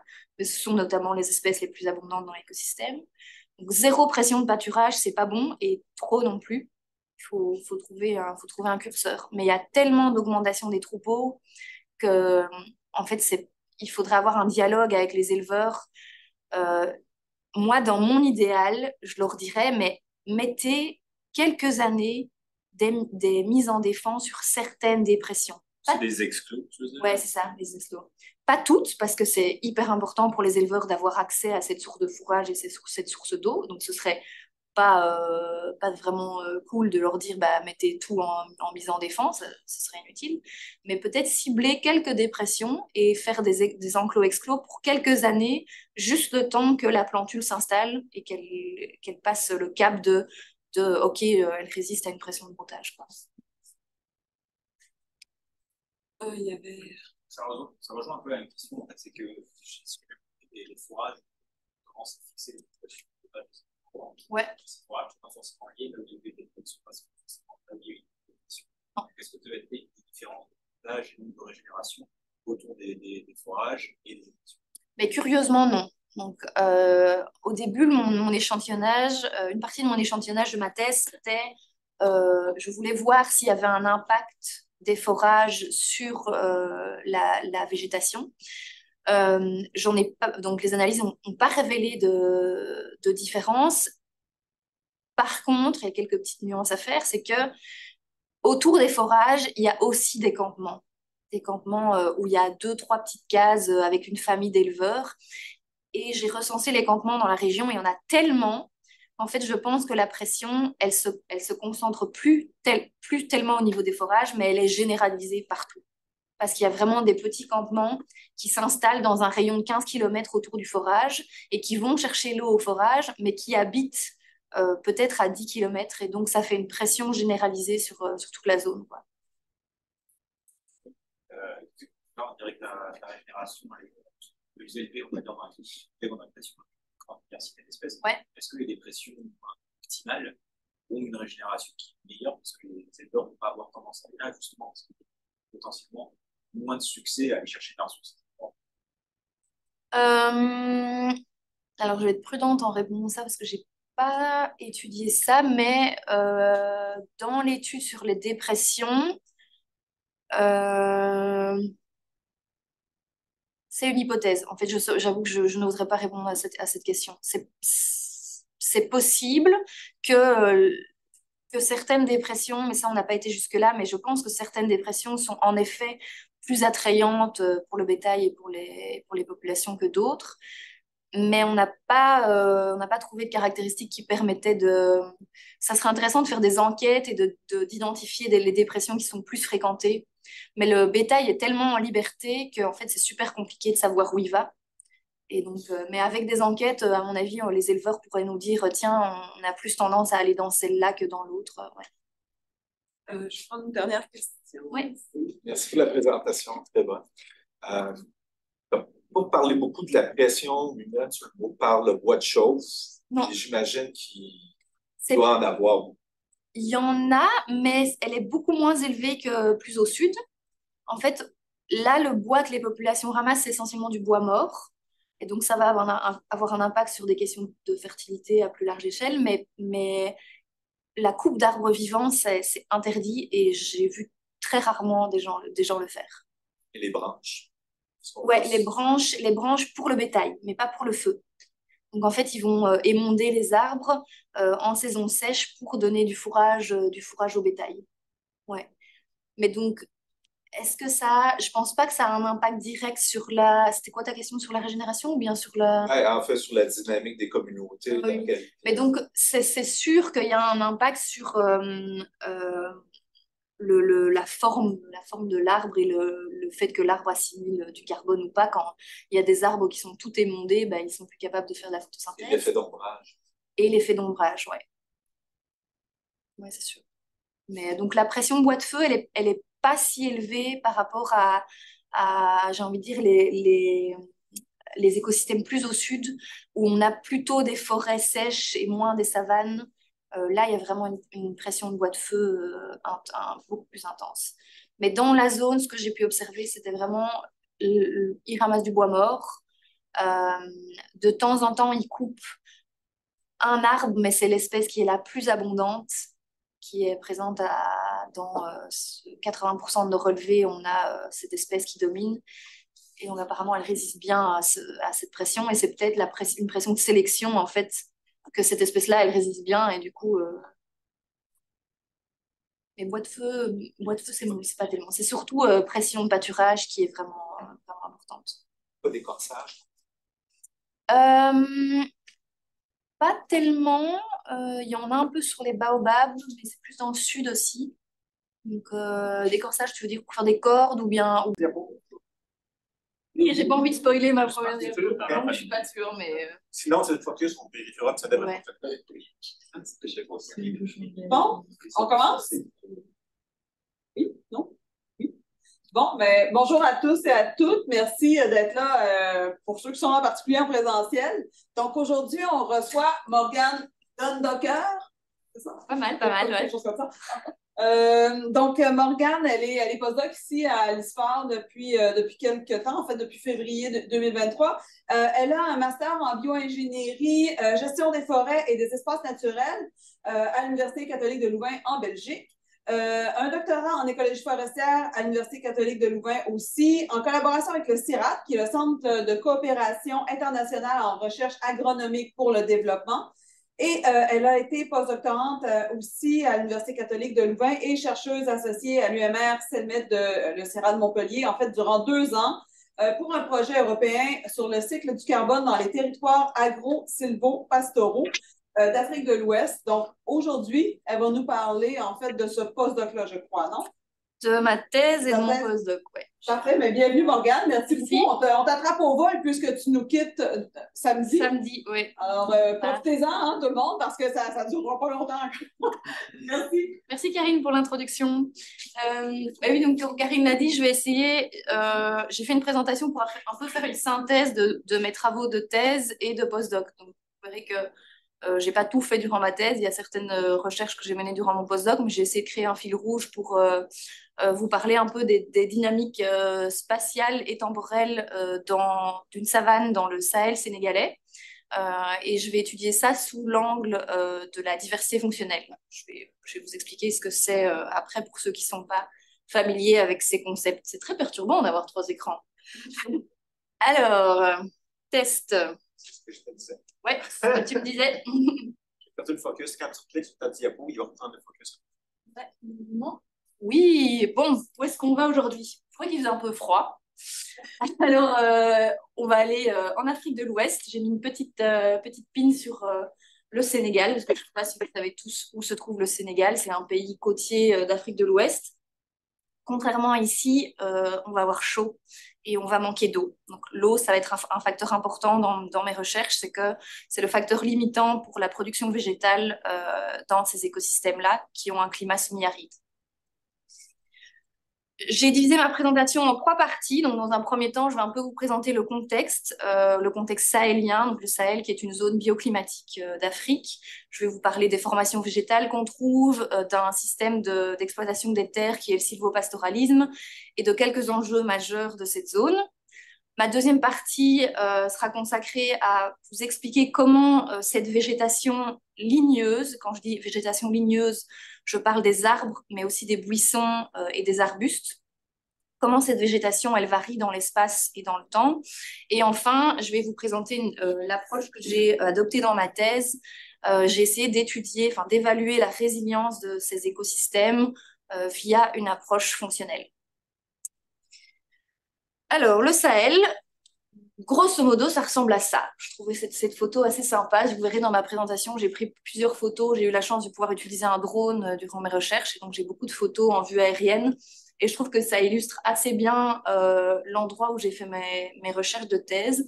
Parce que vous voyez euh, toutes ces petites. vous voyez que les arbres, ils ne sont pas répartis de manière uniforme dans l'espace. On est dans une savane. Euh, mais il y a des, endroits où il n'y a presque pas d'arbres et des endroits où les arbres sont un peu accumulés. Et ces endroits, c'est ce qu'on appelle des micro, ce sont des micro-dépressions topographiques où l'eau euh, s'accumule. Le Sahel est une zone semi-aride, c'est-à-dire qu'il euh, ne pleut pas beaucoup, beaucoup, et que l'évapotranspiration potentielle est largement supérieure aux précipitations annuelles. Donc il pleut entre 200 et 600 mm par an. Ça peut paraître a priori pas si pire que ça, mais en réalité, cette quantité d'eau, elle est concentrée durant une très courte période, qui est euh, la période de la saison des pluies, entre euh, juin, juillet et euh, septembre. Donc, on a vraiment entre 200 et 600 mm par an qui tombent en, en 3 à 4 mois, et puis on a une longue saison sèche qui suit cette saison des pluies.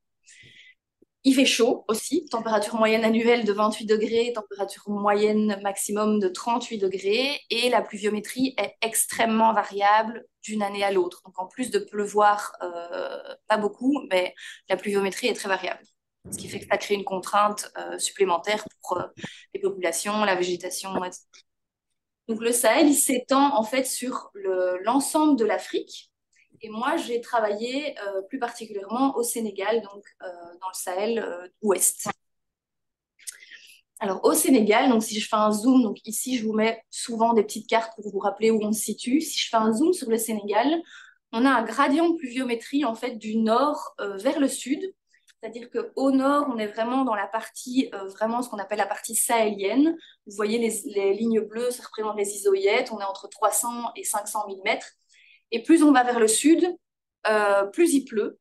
Euh, alors, ça ne veut pas dire que la, saison des pluies s'étend un peu, mais elle reste 4, euh, 4 à 5 mois.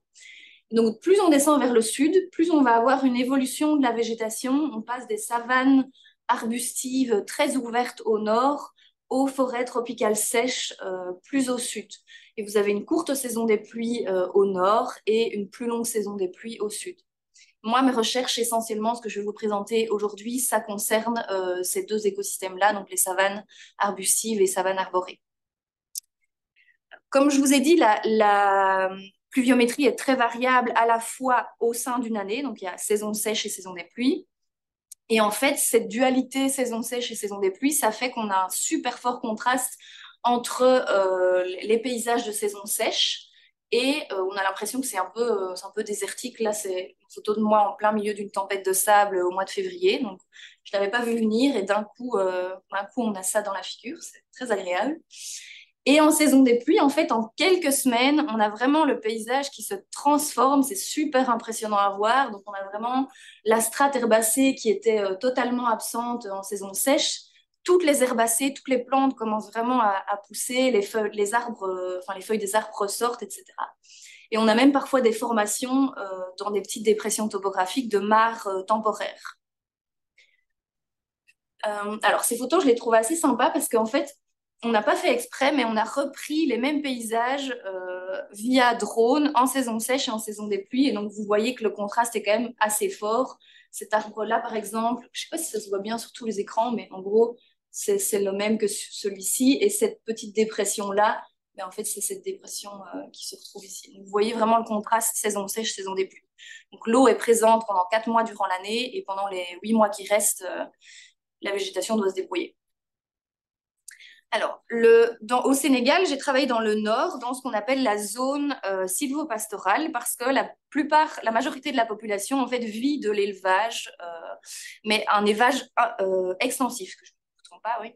Donc, c'est pas euh, des élevages comme on pourrait avoir en Europe euh, où, les, vaches sont dans, des étables euh, toutes concentrées, etc. C'est vraiment les troupeaux qui sont constitués de vaches, de, chèvres et de moutons sont laissés sur des, parcours et il y a des bergers qui les, accompagnent. Mais en gros, c'est vraiment laissé, laissé libre, quoi.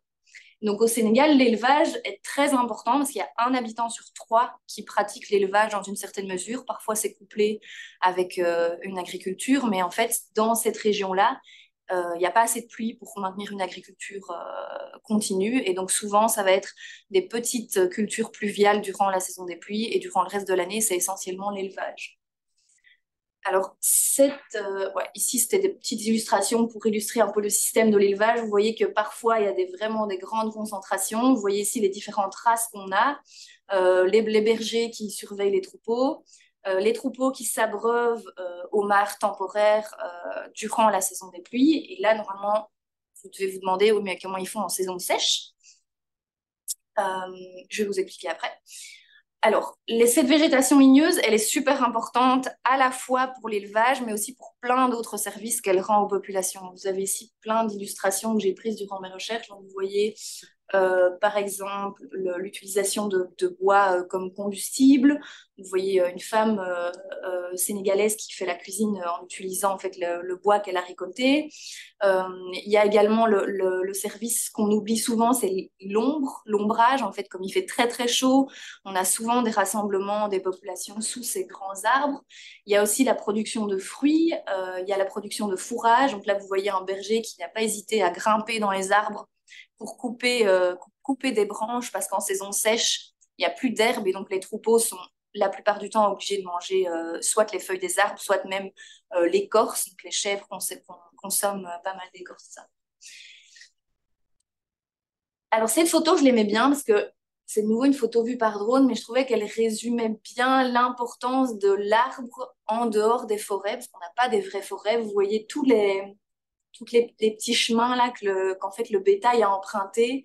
Et vous voyez chaque fois autour des arbres une espèce de, de petit patch de concentration. En fait, les, vaches, le bétail et les humains viennent se reposer à l'ombre des arbres et, manger. Je trouvais que c'était une belle photo qui illustrait bien le système euh, silvopastoral. Alors, quels sont les enjeux majeurs dans cette zone? On a d'une part une grosse pression climatique parce que la pluviométrie est très variable. On observe depuis quelques années une augmentation des températures. Ici, je vous ai mis un graphe euh, où en fait on voit que c'est pas tellement euh, la température maximum qui augmente, c'est la température minimum. Ça c'est pris dans ma zone d'étude. On a aussi euh, une évolution au niveau des régimes pluviométriques. Donc, on, observe de plus en plus un décalage dans le début de la saison des pluies. Et un truc super important qui, va beaucoup, qui a beaucoup influencé mes recherches, c'est que dans les années 70, euh, entre les années 70 et 90, euh, il y a eu des très grosses sécheresses dans tout le Sahel. Quand je dis très grosses sécheresses, si ce sont les anomalies pluviométriques, vous voyez que toutes les années-là sont en déficit et pas un petit déficit. Donc cette, cette période qu'on a appelée la grande sécheresse, a eu énormément de conséquences sur la végétation, euh, sur la taille des troupeaux. Donc les troupeaux, il y a peut-être un tiers des troupeaux qui ont été, euh, qui sont morts de faim. Pareil, il y a eu des famines au niveau des populations, etc. Et donc les conséquences de cette grande sécheresse se voient encore aujourd'hui dans les paysages euh, sahéliens. Le deuxième enjeu qu'on a, c'est qu'on a une pression anthropique de plus en plus forte. Donc là, comme partout dans le monde, il y a une forte croissance de la population, mais euh, comme il y a un lien très fort entre population et ressources, on a vraiment une pression croissante sur les ressources pour le bois de feu. On a aussi la taille des troupeaux qui augmente, parce que pour les populations là-bas, le fait d'avoir un grand troupeau, ça signifie être riche. Donc c'est un signe de richesse, et donc en fait, c'est aussi un signe de... Euh, un élément de, capital. C'est un peu comme une banque une banque sur pattes. Au lieu de mettre l'argent à la banque, on met l'argent dans le bétail. Donc, on a une augmentation de ces troupeaux. Et alors, euh, on a aussi, dans les années 50, dans la zone silvopastorale, il y a eu l'implantation de forages. Dans les années 50, on a découvert une, qu'il y avait une nappe aquifère. Et donc, on a commencé, euh, l'État a décidé euh, de creuser des puits de forage pour aller chercher l'eau dans la nappe en se disant, ah ben c'est super bien, les éleveurs auront accès à l'eau toute l'année, alors qu'auparavant, pendant huit mois, ben, il n'y avait pas d'eau et les éleveurs, avec leurs troupeaux, migraient soit vers le, nord où on a le fleuve Sénégal ici, soit ils migraient vers le sud où, si vous vous souvenez, je vous ai dit que la végétation était, enfin, plus humide vers le sud.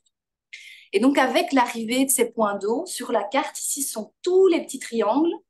Et le rose, enfin, je ne sais pas si vous voyez ça rose, mais la couleur autour des points d'eau, ce sont des, rayons de 15 km et on estime que chaque forage, c'est la zone drainée par un forage.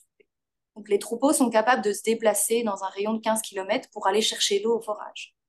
Et comme on a eu cet accès à l'eau permanent, euh, les éleveurs qui auparavant étaient plutôt nomades et pratiquaient la transhumance se sont mis à s'installer de manière plus permanente autour de ces forages. Et donc la pression sur la végétation, euh, ben, elle, a fortement augmenté vu qu'auparavant on avait quand même quelques mois dans l'année où les troupeaux n'étaient pas là et donc la végétation, les arbres pouvaient un peu se reposer entre guillemets.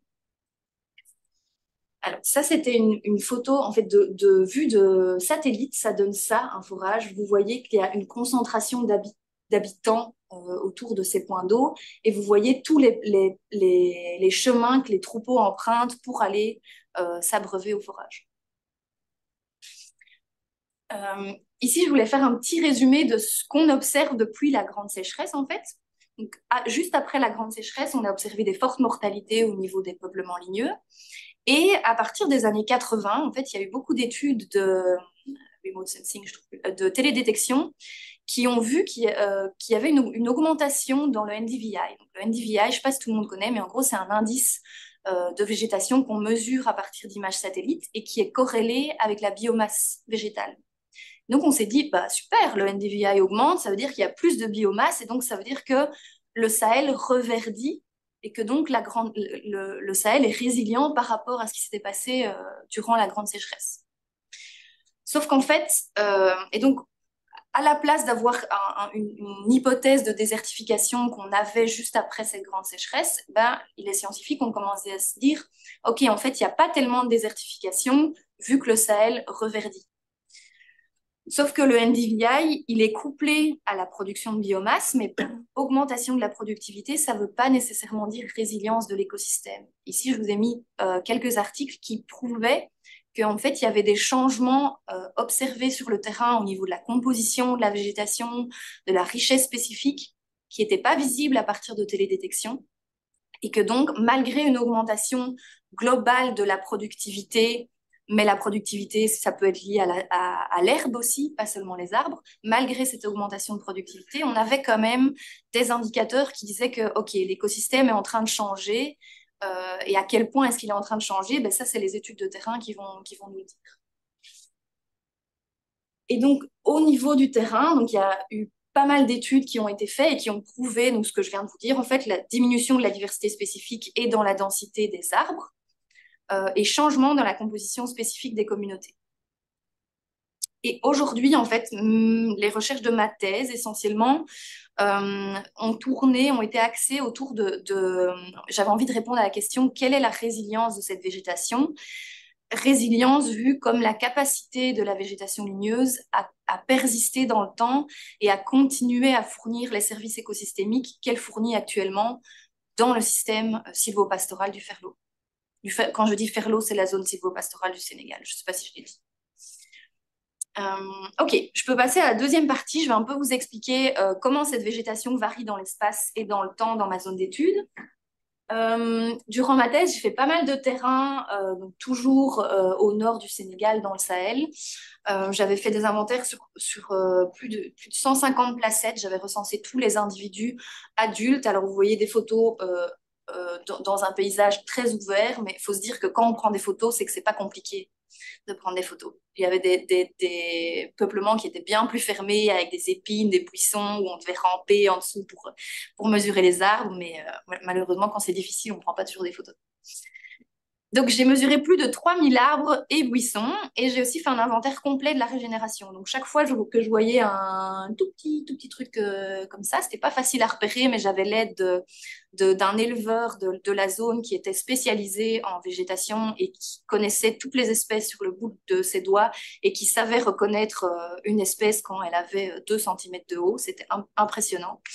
Euh, donc, j'ai recensé toute cette, toute cette régénération et j'ai aussi regardé comment est-ce qu'elle euh, s'organisait dans l'espace par rapport aux arbres adultes pour essayer de comprendre le rôle de ces arbres sur cette régénération. Alors, ce que j'ai observé, c'est que, euh, bah, vous l'avez déjà un peu deviné avec les photos que j'ai montrées, mais qu'on a une densité extrêmement variable de ces, arbres et des buissons.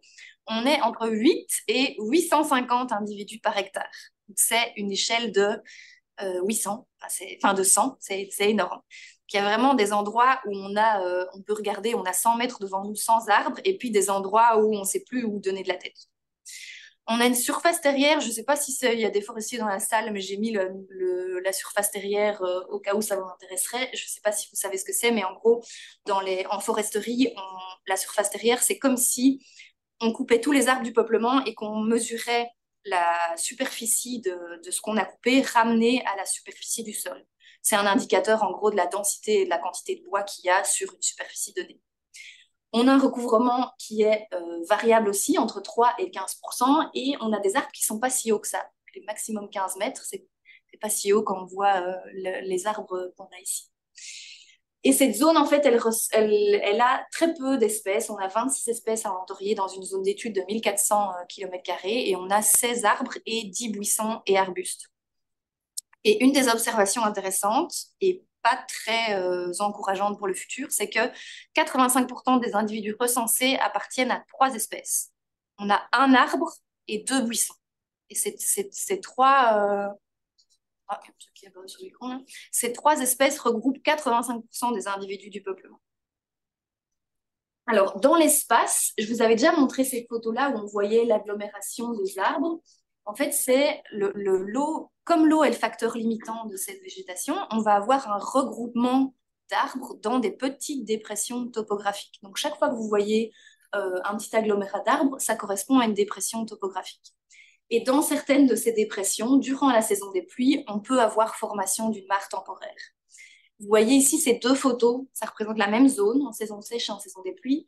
Et vous voyez que là, on se croirait en forêt tropicale.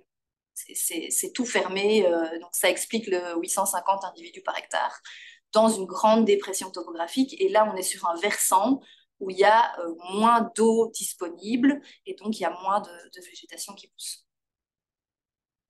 Pour vous donner des chiffres euh, entre dépression topographique et sommeil versant, j'ai fait des petits box plots ici. Donc, vous voyez que en moyenne, les communautés des, dépressions sont plus diversifiées. Donc, on a en moyenne quatre euh, espèces. Je sais que comparé au Québec, c'est rien du tout, mais pour là-bas, c'est pas mal. On a quatre espèces en moyenne dans les dépressions et seulement deux dans les sommets. On a également une plus grande densité des adultes et une plus grande densité des jeunes plants et des plantules on a vraiment ces dépressions qui accumulent, par leur disponibilité en eau plus élevée, accumulent une plus grande richesse et une plus grande densité de végétation. Et dans une des recherches que j'ai menées euh, durant mon postdoc, je me suis intéressée en fait euh, aux différents types de dépressions topographiques. Je me suis dit, bah, ok, en fait, les dépressions, elles sont pas toutes les mêmes. Il y en a de différentes tailles, il y en a de différentes profondeurs, le type de sol peut être différent. Et donc, ce qu'on a fait avec un étudiant euh, et des collègues, c'est qu'on a cartographié via image satellite toutes les dépressions dans un rayon autour d'un forage. Et on a été échantillonner certaines de ces dépressions de façon à avoir des petites dépressions et des plus grandes dépressions. Et notre hypothèse, c'était qu'on s'imaginait que dans les plus grandes dépressions, mais il y avait plus de richesses spécifiques. Et en observant ça, en fait, on a étudié différents facteurs pour essayer de comprendre quels étaient les facteurs qui influençaient le plus les communautés végétales. Donc, pour chaque dépression, on a regardé sa superficie, on a regardé le nombre de strates, donc s'il y avait seulement des arbres, ou bien seulement des arbustes, ou bien arbres, arbustes, buissons. On a regardé euh, la localisation de ces dépressions, parce qu'en fait, euh, dans le relief de la zone d'étude, on a des grandes dunes qui sont pas très hautes, elles font peut-être 100 mètres de haut, et comme elles sont très larges, on voit pas tellement la différence avec les plaines. Donc on a une succession de dunes et de plaines, et au sein de ces dunes et de ces plaines, on a encore des variations de microtopographie locale qui donnent naissance à ces, dépressions. On a aussi regardé l'influence de quelques métriques paysagères. Par exemple, on a calculé la distance euh, au plus proche campement et la distance au point d'eau le plus proche, en se disant bah, si elles sont plus proches des activités humaines, il y a peut-être euh, une chance que ça influence les communautés végétales. On a aussi regardé l'impact de, de, la connectivité, donc on a calculé les distances entre les dépressions, on a regardé le nombre de dépressions dans un rayon de 500 mètres, et on a regardé la superficie de ces dépressions qui étaient proches.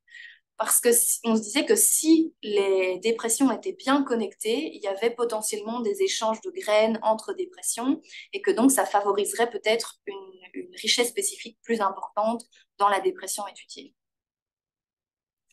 Ce qu'on a observé, donc c'est si on, donc ça c'est tout, ce sont toutes les, on a, on a inventorié 60, une soixantaine de dépressions on a, à partir de, des compositions spécifiques de ces dépressions, regardé comment elles, euh, se mettaient dans l'espace. C'est une, NMDS, c'est un peu la même chose qu'une PCOA. En gros, plus le, deux dépressions sont proches, plus elles, présentent euh, une composition euh, commune en termes de, composition spécifique.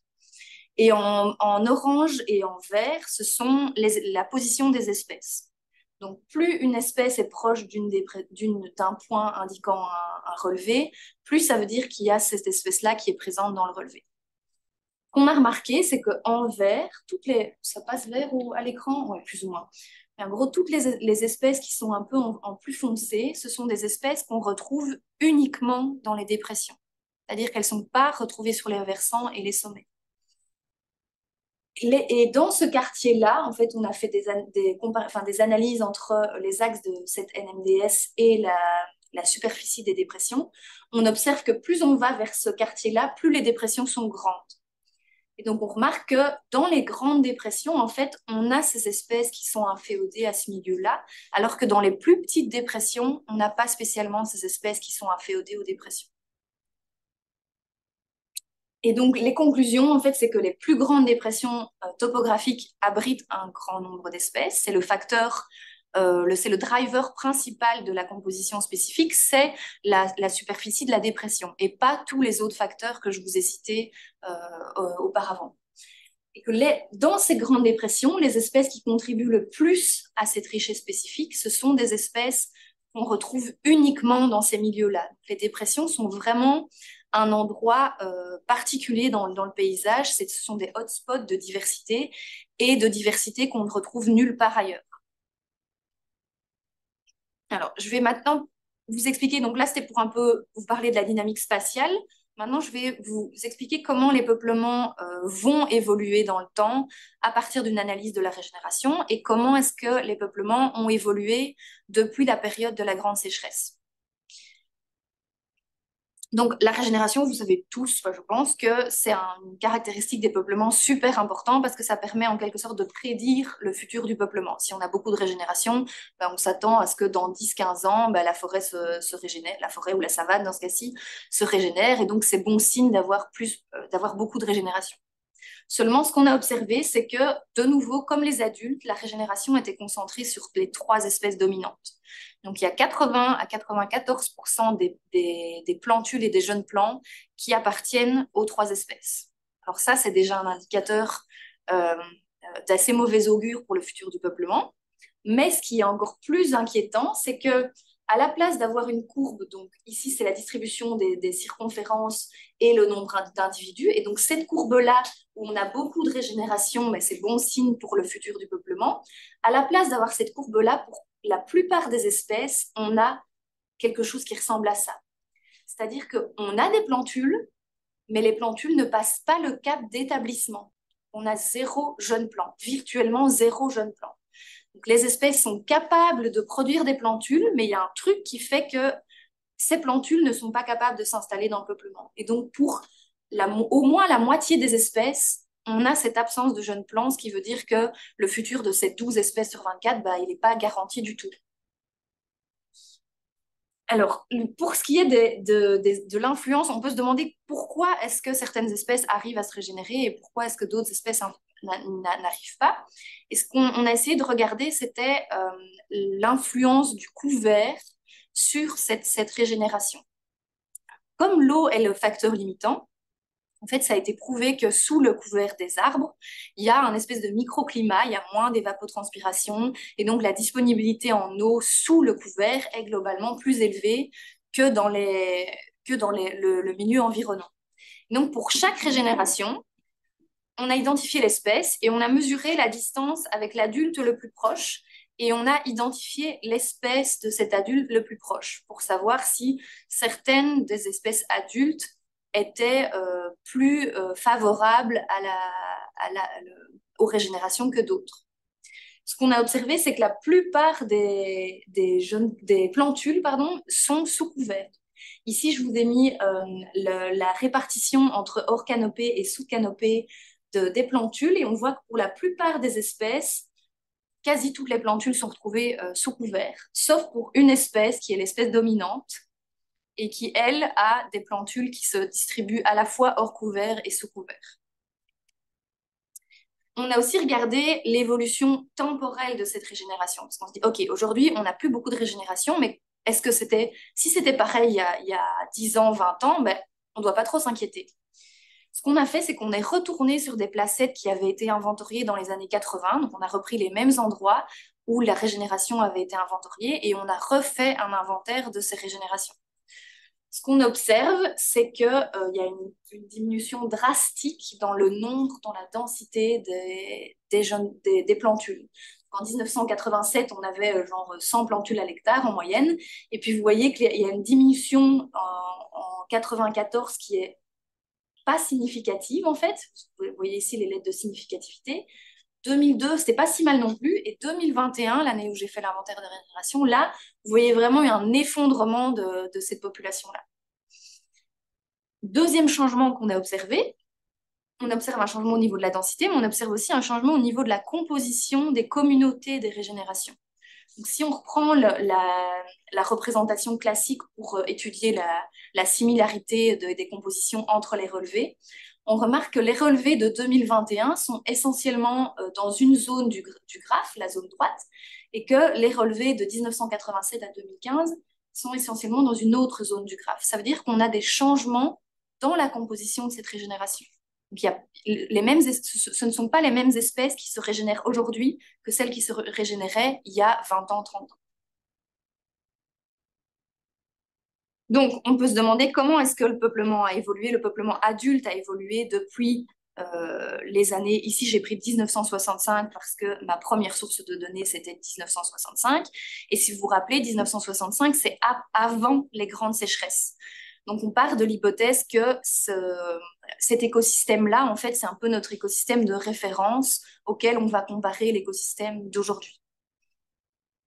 Pour ça, j'ai utilisé euh, différentes sources de données. Donc, souvent, les études euh, de télédétection ou les études de terrain étaient un peu séparées. Donc, il y avait soit des, euh, des remote sensing guys, que je les appelle, qui faisaient leurs petits trucs dans leur coin avec leurs images satellites. Alors, je critique pas du tout, c'est hyper intéressant d'avoir ça, mais c'est aussi intéressant d'avoir le couplage entre terrain et satellite.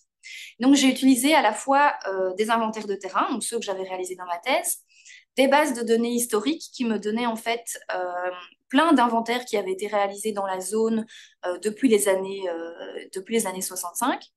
Et j'ai utilisé des images aériennes et des images satellites. Et ma première image satellite dont que je disposais, c'était des images de 1965. Et donc entre 1965 et 2018, j'ai plusieurs, plusieurs dates auxquelles j'ai des images satellites et des images aériennes.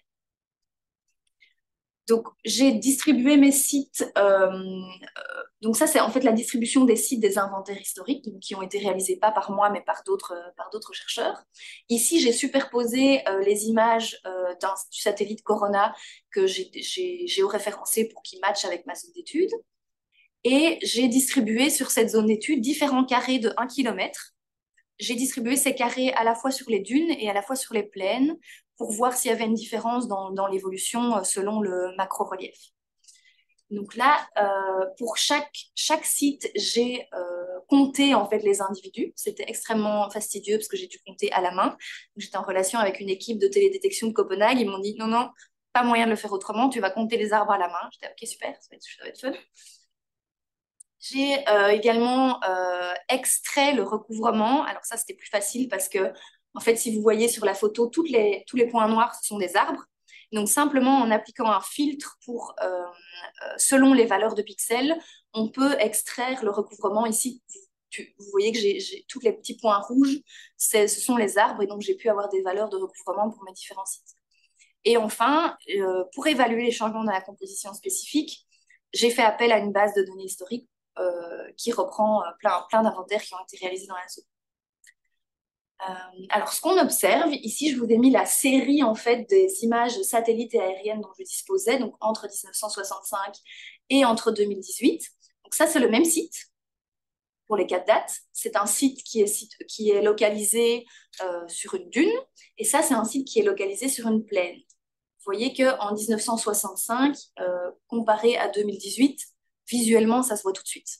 Vous voyez qu'il y a vraiment une diminution de la densité, rien qu'entre 1965 et 1980. Donc c'est juste pendant la grande sécheresse, il y a eu quand même une forte diminution. Par contre, au niveau, euh, ici les petits box plots de, densité moyenne, on voit qu'en fait, entre euh, la diminution, elle s'est produite durant la sécheresse et après la sécheresse, donc jusqu'en 2008. Par contre, entre 2008 et 2018, on a, il y a l'air d'avoir une stabilisation au niveau densité, on se dit, OK, on, est plus ou moins dans des, dans des valeurs euh, un, peu stables. Au niveau de la composition spécifique, ici, ce que j'ai représenté, je voulais voir euh, les changements dans la fréquence des espèces. Donc, à quel point une espèce était fréquente euh, actuellement. La fréquence, c'est le nombre de relevés dans lequel une espèce est inventoriée.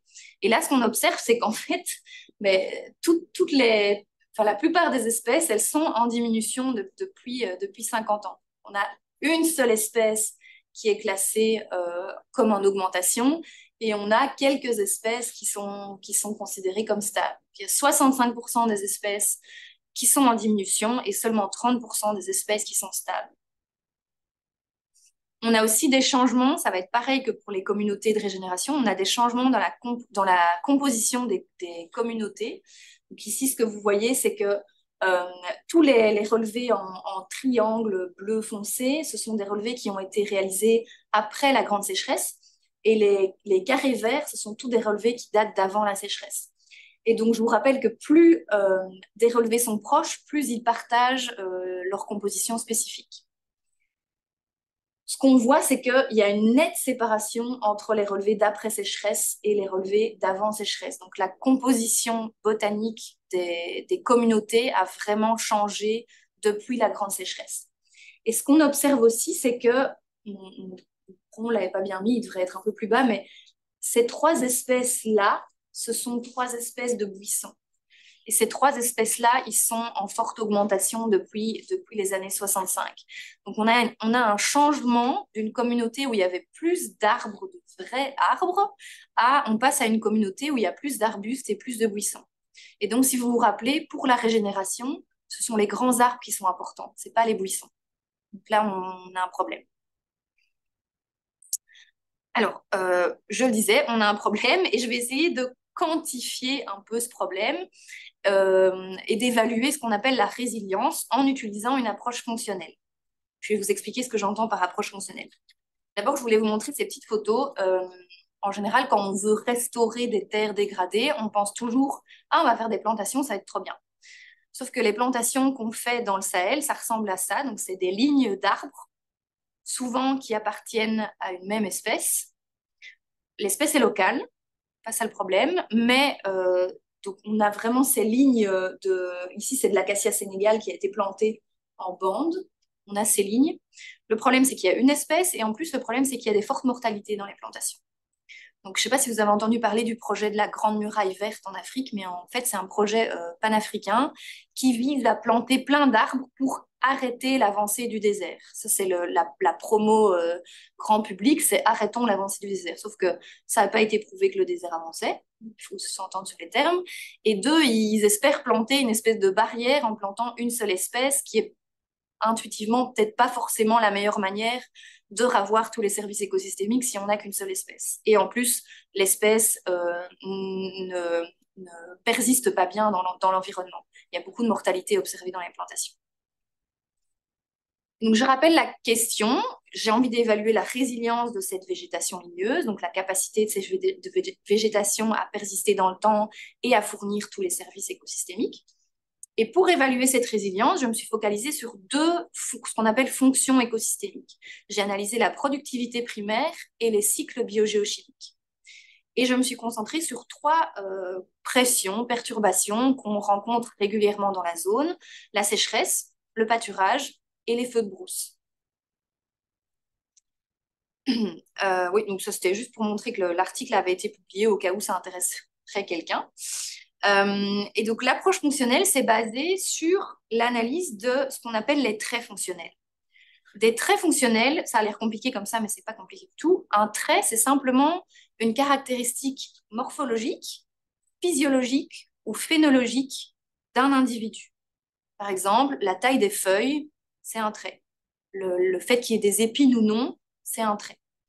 Et certains de ces traits vont avoir un impact sur le fonctionnement des écosystèmes. Comment est-ce qu'ils vont avoir un impact?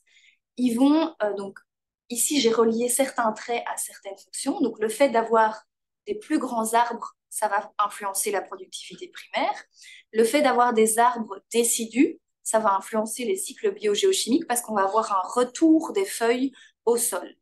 Donc tous ces traits-là qui influencent le fonctionnement des écosystèmes, c'est ce qu'on appelle les traits d'effet.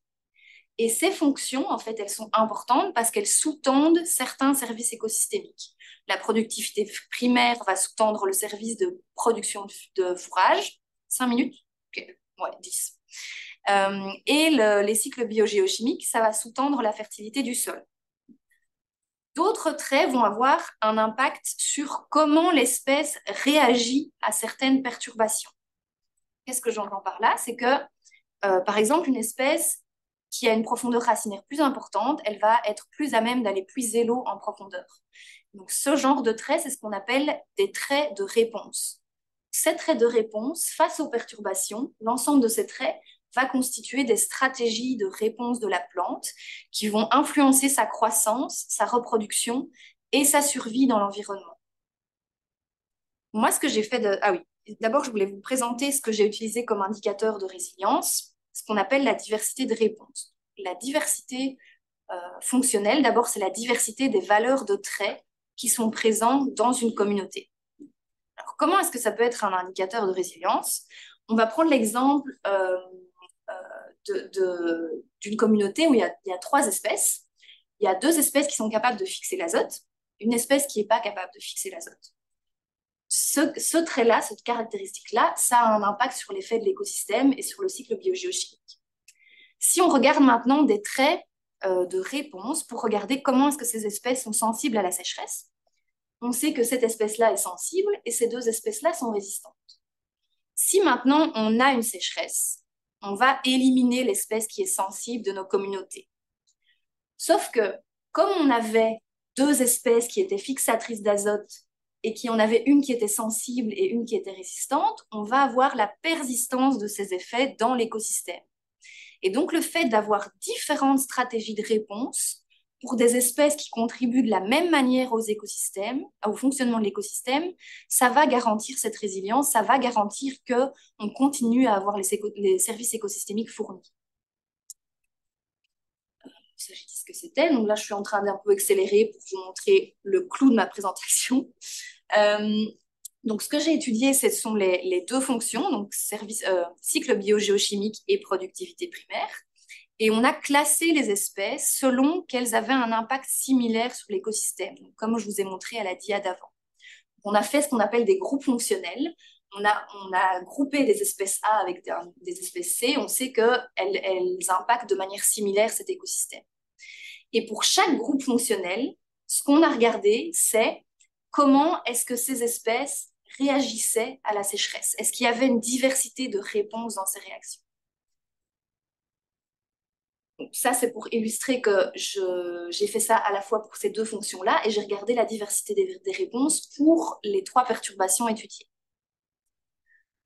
Euh, ça, si j'ai pas beaucoup de temps, je vais passer. Euh, et je vais directement aller à cette dia-là, où je, vous montre comment j'ai groupé les espèces. Alors, pour avoir les traits euh, liés à certains effets et les traits liés à certaines réponses, j'ai fait une revue de la biblio où en fait des, des, scientifiques ont simplement étudié les liens qu'il y avait entre traits et fonctionnement de l'écosystème ou bien traits et réponses aux perturbations. Et donc j'ai toute une liste de traits pour chacune des fonctions étudiées et chacune des perturbations étudiées. Et en fonction de ça, j'ai groupé les espèces selon leur similarité des effets sur les écosystèmes. Donc ici, j'ai, euh, c'est pas important. En gros, j'ai fait deux groupes fonctionnels pour la productivité primaire et trois groupes fonctionnels pour les cycles biogéochimiques. Alors là, ça devient plus intéressant. C'est que euh, on peut représenter, euh, ça c'est un dendrogramme qui représente la, distance euh, qu'il y a en termes d'effet sur l'écosystème entre les espèces.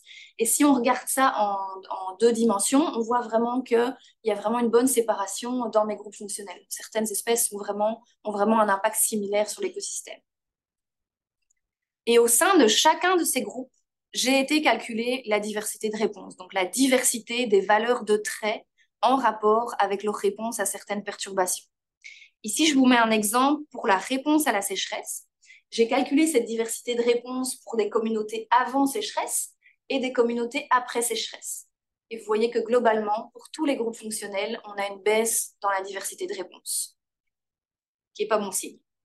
Par contre, ce qu'on a observé, c'est qu'actuellement, la diversité de réponses, elle était très variable selon la topographie. Donc, ce qu'on avait observé au niveau des variations spatiales qui avaient plus de richesse spécifique, plus de densité au niveau des dépressions, ça se retrouve au niveau fonctionnel aussi. globalement, la diversité de réponses est plus élevée dans les dépressions. Et ça, c'est un truc intéressant si on veut mieux gérer l'écosystème. Donc, pour gérer l'écosystème, on pourrait se demander si la diversité de réponses est un indicateur de résilience et permet de maintenir cet écosystème et les fonctions euh, étudiées, comment est-ce qu'on peut maintenir cette diversité de réponses? Et pour ça, on va partir, j'en ai encore pour trois minutes. Pour ça, on va, on va partir de ce qu'on sait. Donc, avec toutes les études qu'on a faites, ce qu'on connaît, c'est on sait quelles espèces ont un impact similaire, à tels impacts sur l'écosystème. On connaît les groupes fonctionnels. On connaît l'abondance de ces espèces, on connaît la régénération de ces espèces. On sait que dans le paysage, il y a des zones de hotspot de diversité fonctionnelle et ces zones de hotspot, ce sont les dépressions. Et on sait que les groupes fonctionnels créés ne sont pas tous bien représentés dans l'écosystème actuel parce que la plupart des espèces euh, sont euh, soit en faible abondance, soit elles présentent une faible régénération. Et du coup, à partir de tout ça, ce qu'on a regardé, c'est simplement, si on fait une division entre sommet et dépression, qu'on regarde les groupes fonctionnels pour les deux fonctions étudiées. Ici, ce que j'ai représenté, c'est le nombre d'espèces abondantes actuellement qu'il y a dans chaque groupe fonctionnel. Globalement, ce qu'on voit, c'est que pour la productivité primaire, chaque groupe fonctionnel a pas mal d'espèces et donc c'est bien d'avoir une redondance fonctionnelle, c'est bien d'avoir des espèces, plusieurs espèces au sein d'un groupe fonctionnel. Par contre, pour les cycles biogéochimiques, là, vous voyez qu'il y a certains groupes fonctionnels qui sont très peu représentés dans l'écosystème actuel. Au niveau des facteurs de risque, on sait qu'il y a une perte de diversité de réponse face à la sécheresse depuis les années 70 pour tous les groupes fonctionnels, ce que je vous ai montré. On sait aussi que certaines espèces, ici je les ai entourées en rouge, euh, il n'y a pas de régénération dans le peuplement actuel et que ces espèces-là sont en diminution depuis les années 70 et 2015. Et donc, une bonne idée, enfin, une idée, ce serait d'aller cibler ces espèces-là qui sont euh, à la fois abondantes dans l'écosystème actuellement, mais qui sont en diminution, mais qui présentent quand même un bon potentiel au niveau de la régénération. Et donc, en ciblant certaines espèces qui appartiennent à certains groupes fonctionnels, on pourrait euh, promouvoir ces espèces-là, donc les protéger, pour maintenir les, les, toutes les fonctions étudiées, tous les groupes fonctionnels étudiés donc, c'est ce que je faisais dans, dans, mon papier comme suggestion, c'est qu'avec cette approche-là, on arrive à identifier certaines espèces, soit à protéger, soit à favoriser, pour maintenir les groupes fonctionnels à risque. Et on pourrait également appliquer, comme on sait qu'il y a une forte euh, variation spatiale, différenciation spatiale entre dépression et sommet, il faut tirer parti de ces différenciations spatiales. On sait que dans les dépressions, la diversité de réponses est plus élevée et que donc pourquoi ne pas profiter de ces dépressions pour favoriser ces espèces ou des plantations autour de ces dépressions qui connecteraient ces dépressions de manière à maintenir euh, un écosystème euh, en, bonne santé, j'aime pas tellement ce terme-là, mais un écosystème qui est capable de fournir les, services écosystémiques dans un système sylvopastoral. Pour terminer, donc quelques points euh, que je trouvais assez intéressants à retenir. Je vous ai présenté un système euh, sylvopastoral, donc c'est-à-dire un système qui se base à la fois sur les ressources ligneuses, sylvo, et des ressources liées à l'élevage, qui avait des liens forts entre les populations et l'environnement, et ces liens sont à prendre en compte dans le suivi et la gestion. C'est important de se rendre compte que le sylvopastoralisme, c'est l'activité principale dans ces zones, et donc, il faut en tenir compte dans, la gestion qu'on veut appliquer à ces écosystèmes.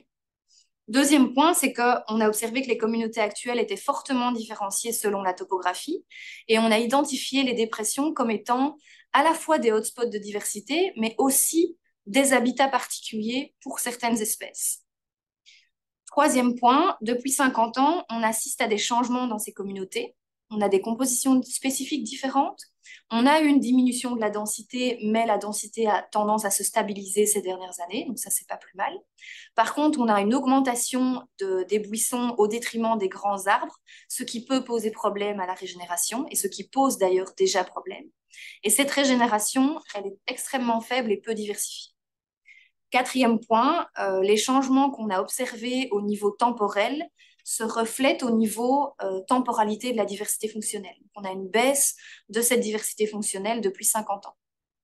Et enfin, l'approche testée, donc qui est basée sur les traits fonctionnels, peut être utilisée pour définir des, suggestions de gestion, c'est-à-dire pour euh, identifier certaines espèces qui fournissent des services particuliers et qui sont à risque dans l'écosystème, mais qui serait intéressant de maintenir afin de maintenir une, une, bonne diversité de réponses face à toutes les perturbations euh, de ce système.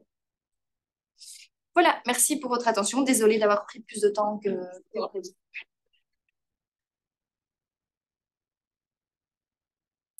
Morgane. Est-ce qu'il y a des questions? Euh, ben, Laurence, vas-y. Est-ce que tu sais s'il y a une suggestion que, que tu apportes, est-ce que tu sais si le Sénégal ou n'importe quel pays qui sur la, la sont ouverts à ça? C'est triste à dire, mais euh, je pense pas. Ben, c'est pas qu'ils sont fermés, c'est que euh, donc sur le terrain, en fait, ce qu'on observe, c'est que les éleveurs sont hyper, enfin, ils sont, euh, ils sont vraiment conscients qu'il y a un changement dans leur communauté. Mais en fait, il y a tellement euh, cette, cette, dépendance à leur troupeau qui est là. Comme les ressources sont gérées en fait en commun, c'est très compliqué d'appliquer euh, d'appliquer une gestion. Et au niveau de la loi, c'est il y a y a une montagne à franchir qui est pas du tout qui est pas du tout franchissable. En fait. C'est ça serait des initiatives locales, oui, mais euh, je pense qu'une partie du problème, ça vient euh, d'une mauvaise communication entre euh, des grands projets de développement, style la Banque mondiale qui va mettre des millions à financer la Grande Muraille verte, plantons une même espèce. Il y a une mauvaise communication entre la communauté scientifique, ça, et puis les politiques. Ben, D'abord, je voulais te féliciter pour avoir vraiment fait une super présentation, bien vulgariser l'approche l'approche fonctionnelle. Parce que c'est pas nécessairement évident à faire comprendre. Ouais, c'est pas. Euh, puis, ben, moi, en fait, ma question était pas mal reliée à celle de, de, Laurence. Donc, euh, est-ce qu'ils ont, est-ce que le Sénégal avait des, les ressources euh, financières pour euh, des projets comme ça? Est-ce que ça prend plus comme de l'ingénierie environnementale pour, euh, je me demandais, est-ce que ça se peut créer des, des, des, programmes de restauration? En fait, je pense que ça ne demanderait pas beaucoup de ressources financières.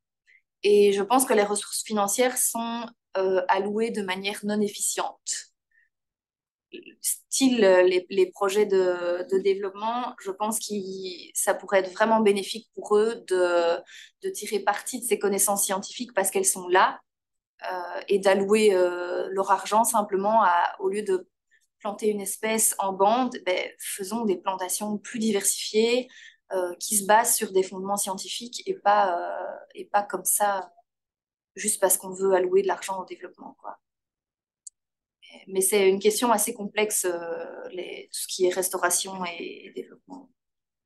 J'avais Benoît. Euh, je me demandais, tu as montré qu'il y avait comme euh, la possibilité d'avoir des petits semis de régénération, mais qui ne se rendaient pas à l'âge adulte. Est-ce qu'il y a une pression de broutage? Ah oui, oui, oui. Ouais. C'est pas juste des contraintes environnementales. Non, ici, je me suis axée. En fait, c'est très difficile de distinguer les deux. Quand je vous expliquais les pressions anthropiques et climatiques, il y a euh, quelques études qui ont essayé de distinguer les deux. Mais moi, dans ma thèse, je suis partie de l'idée que en fait, ces deux pressions étaient là et que ça m'intéressait pas forcément de distinguer les deux, mais simplement ce que j'allais observer sur le terrain, c'était ça. Mais c'est sûr que comme on voit que les espèces ont cette capacité à produire des plantules, en fait, ce qui peut faire qu'elles se rendent pas au stade suivant, c'est deux choses. Soit elles passent pas leur première saison sèche, soit euh, elles sont mangées. Et en fait, ce qu'on observe, c'est que dans les dépressions, c'est là qu'on rencontre le, le peu de jeunes plants qu'on a, c'est dans les dépressions. Donc, c'est dans les endroits où la disponibilité en eau est, plus élevée. La disponibilité en eau joue quand même, mais à la fois, on a aussi des systèmes de mise en défense qui ont montré que euh, avec une pression climatique semblable, quand on a une, pression de pâturage qui est d'intensité moyenne, ça favorise la régénération. Et quand c'est trop élevé, c'est vraiment pas bon. En fait, il y a un espèce de, de balance, d'équilibre entre zéro pression de pâturage, c'est pas tellement bon pour certaines espèces parce que certaines espèces dépendent du bétail pour la dispersion des graines et le fait que euh, les animaux mangent les fruits et puis que ça se retrouve dans leurs fesses, euh, en fait, ça facilite la germination. Donc, il y a certaines espèces qui tirent parti de ça. ce sont notamment les espèces les plus abondantes dans l'écosystème. Donc, zéro pression de pâturage, c'est pas bon et trop non plus. Il faut trouver un curseur. Mais il y a tellement d'augmentation des troupeaux que, en fait, c'est il faudrait avoir un dialogue avec les éleveurs. Euh, moi, dans mon idéal, je leur dirais, mais mettez quelques années des, mises en défense sur certaines dépressions. C'est des exclus, Oui, c'est ça, les exclus. Pas toutes, parce que c'est hyper important pour les éleveurs d'avoir accès à cette source de fourrage et cette source d'eau. Donc, ce serait pas, euh, pas vraiment euh, cool de leur dire bah, mettez tout en, mise en défense, ce serait inutile, mais peut-être cibler quelques dépressions et faire des, des enclos-exclos pour quelques années, juste le temps que la plantule s'installe et qu'elle passe le cap de, de OK, euh, elle résiste à une pression de broutage. Quoi. il y avait... ça, rejoint, ça rejoint un peu la question, en fait, c'est que les, les fourrages commencent à fixer les Ouais. Pas forcément lié, mais Est-ce que tu as des différents âges et de régénération autour des, des, des forages et des Mais curieusement, non. Donc, euh, au début, mon, mon échantillonnage, euh, une partie de mon échantillonnage de ma thèse, c'était euh, je voulais voir s'il y avait un impact des forages sur euh, la, la, végétation. Euh, j'en ai donc les analyses n'ont pas révélé de, de différence. Par contre, il y a quelques petites nuances à faire, c'est que autour des forages, il y a aussi des campements. Des campements euh, où il y a deux, trois petites cases euh, avec une famille d'éleveurs. Et j'ai recensé les campements dans la région, il y en a tellement. En fait, je pense que la pression, elle se, elle se concentre plus, tel, plus tellement au niveau des forages, mais elle est généralisée partout parce qu'il y a vraiment des petits campements qui s'installent dans un rayon de 15 km autour du forage et qui vont chercher l'eau au forage, mais qui habitent euh, peut-être à 10 km. Et donc, ça fait une pression généralisée sur, euh, sur toute la zone. Quoi. Euh, on dirait que la, la régénération est plus élevée, on va dire, dans la grande diversité d'espèces. Ouais. Est-ce que les dépressions optimales ont une régénération qui est meilleure parce que les éleveurs ne vont pas avoir tendance à là, justement, potentiellement moins de succès à aller chercher la ressource euh, Alors, je vais être prudente en répondant à ça parce que j'ai pas étudié ça, mais euh, dans l'étude sur les dépressions, euh, c'est une hypothèse. En fait, j'avoue que je, je n'oserais pas répondre à cette, à cette question. C'est possible que que certaines dépressions, mais ça on n'a pas été jusque-là, mais je pense que certaines dépressions sont en effet plus attrayantes euh, pour le bétail et pour les, pour les populations que d'autres. Mais on n'a pas, euh, pas trouvé de caractéristiques qui permettaient de... Ça serait intéressant de faire des enquêtes et d'identifier de, les dépressions qui sont plus fréquentées. Mais le bétail est tellement en liberté que en fait, c'est super compliqué de savoir où il va. Et donc, euh, mais avec des enquêtes, à mon avis, les éleveurs pourraient nous dire tiens, on a plus tendance à aller dans celle-là que dans l'autre. Euh, je prends une dernière question. Oui. Merci pour la présentation, très bonne. Euh, pour parler beaucoup de la pression humaine sur le mot, parle bois de choses. J'imagine qu'il doit en avoir. Il y en a, mais elle est beaucoup moins élevée que plus au sud. En fait, là, le bois que les populations ramassent, c'est essentiellement du bois mort. Et donc, ça va avoir un, avoir un impact sur des questions de fertilité à plus large échelle, mais, mais la coupe d'arbres vivants, c'est interdit et j'ai vu très rarement des gens, des gens le faire. Et les branches? Ouais, les branches, les branches pour le bétail, mais pas pour le feu. Donc en fait, ils vont euh, émonder les arbres euh, en saison sèche pour donner du fourrage, euh, du fourrage au bétail. Ouais. Mais donc est-ce que ça, je pense pas que ça a un impact direct sur la, c'était quoi ta question sur la régénération ou bien sur la... Ouais, en fait, sur la dynamique des communautés. Mais donc, c'est sûr qu'il y a un impact sur euh, euh, le, le, la, forme, la forme de l'arbre et le, le, fait que l'arbre assimile du carbone ou pas. Quand il y a des arbres qui sont tout émondés, bah, ils sont plus capables de faire de la photosynthèse. Et l'effet d'ombrage. Et l'effet d'ombrage, ouais. Ouais, c'est sûr. Mais donc la pression bois de feu, elle est, elle est pas si élevée par rapport à, j'ai envie de dire, les, les, écosystèmes plus au sud, où on a plutôt des forêts sèches et moins des savanes. Euh, là, il y a vraiment une, pression de bois de feu euh, beaucoup plus intense. Mais dans la zone, ce que j'ai pu observer, c'était vraiment, ils ramassent du bois mort. Euh, de temps en temps, ils coupent un arbre, mais c'est l'espèce qui est la plus abondante, qui est présente dans 80% de nos relevés. On a cette espèce qui domine. Et donc, apparemment, elle résiste bien à, cette pression. Et c'est peut-être la une pression de sélection, en fait, que cette espèce-là, elle résiste bien. Et du coup, euh...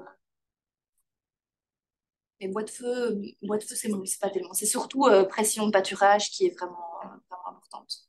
Pas des corsages euh, Pas tellement. Euh, il y en a un peu sur les baobabs, mais c'est plus dans le sud aussi. Donc, euh, des corsages, tu veux dire pour faire des cordes ou bien, ou bien, des, ou bien pour donner à manger euh... Ouais, il n'y en, en, a pas tellement dans ces zones-là. Non. Bon, ben, merci beaucoup, Morgane. On va, on va te garder tout à l'heure pour les étudiants. Mais entre-temps, je vais libérer la foule en délire ici.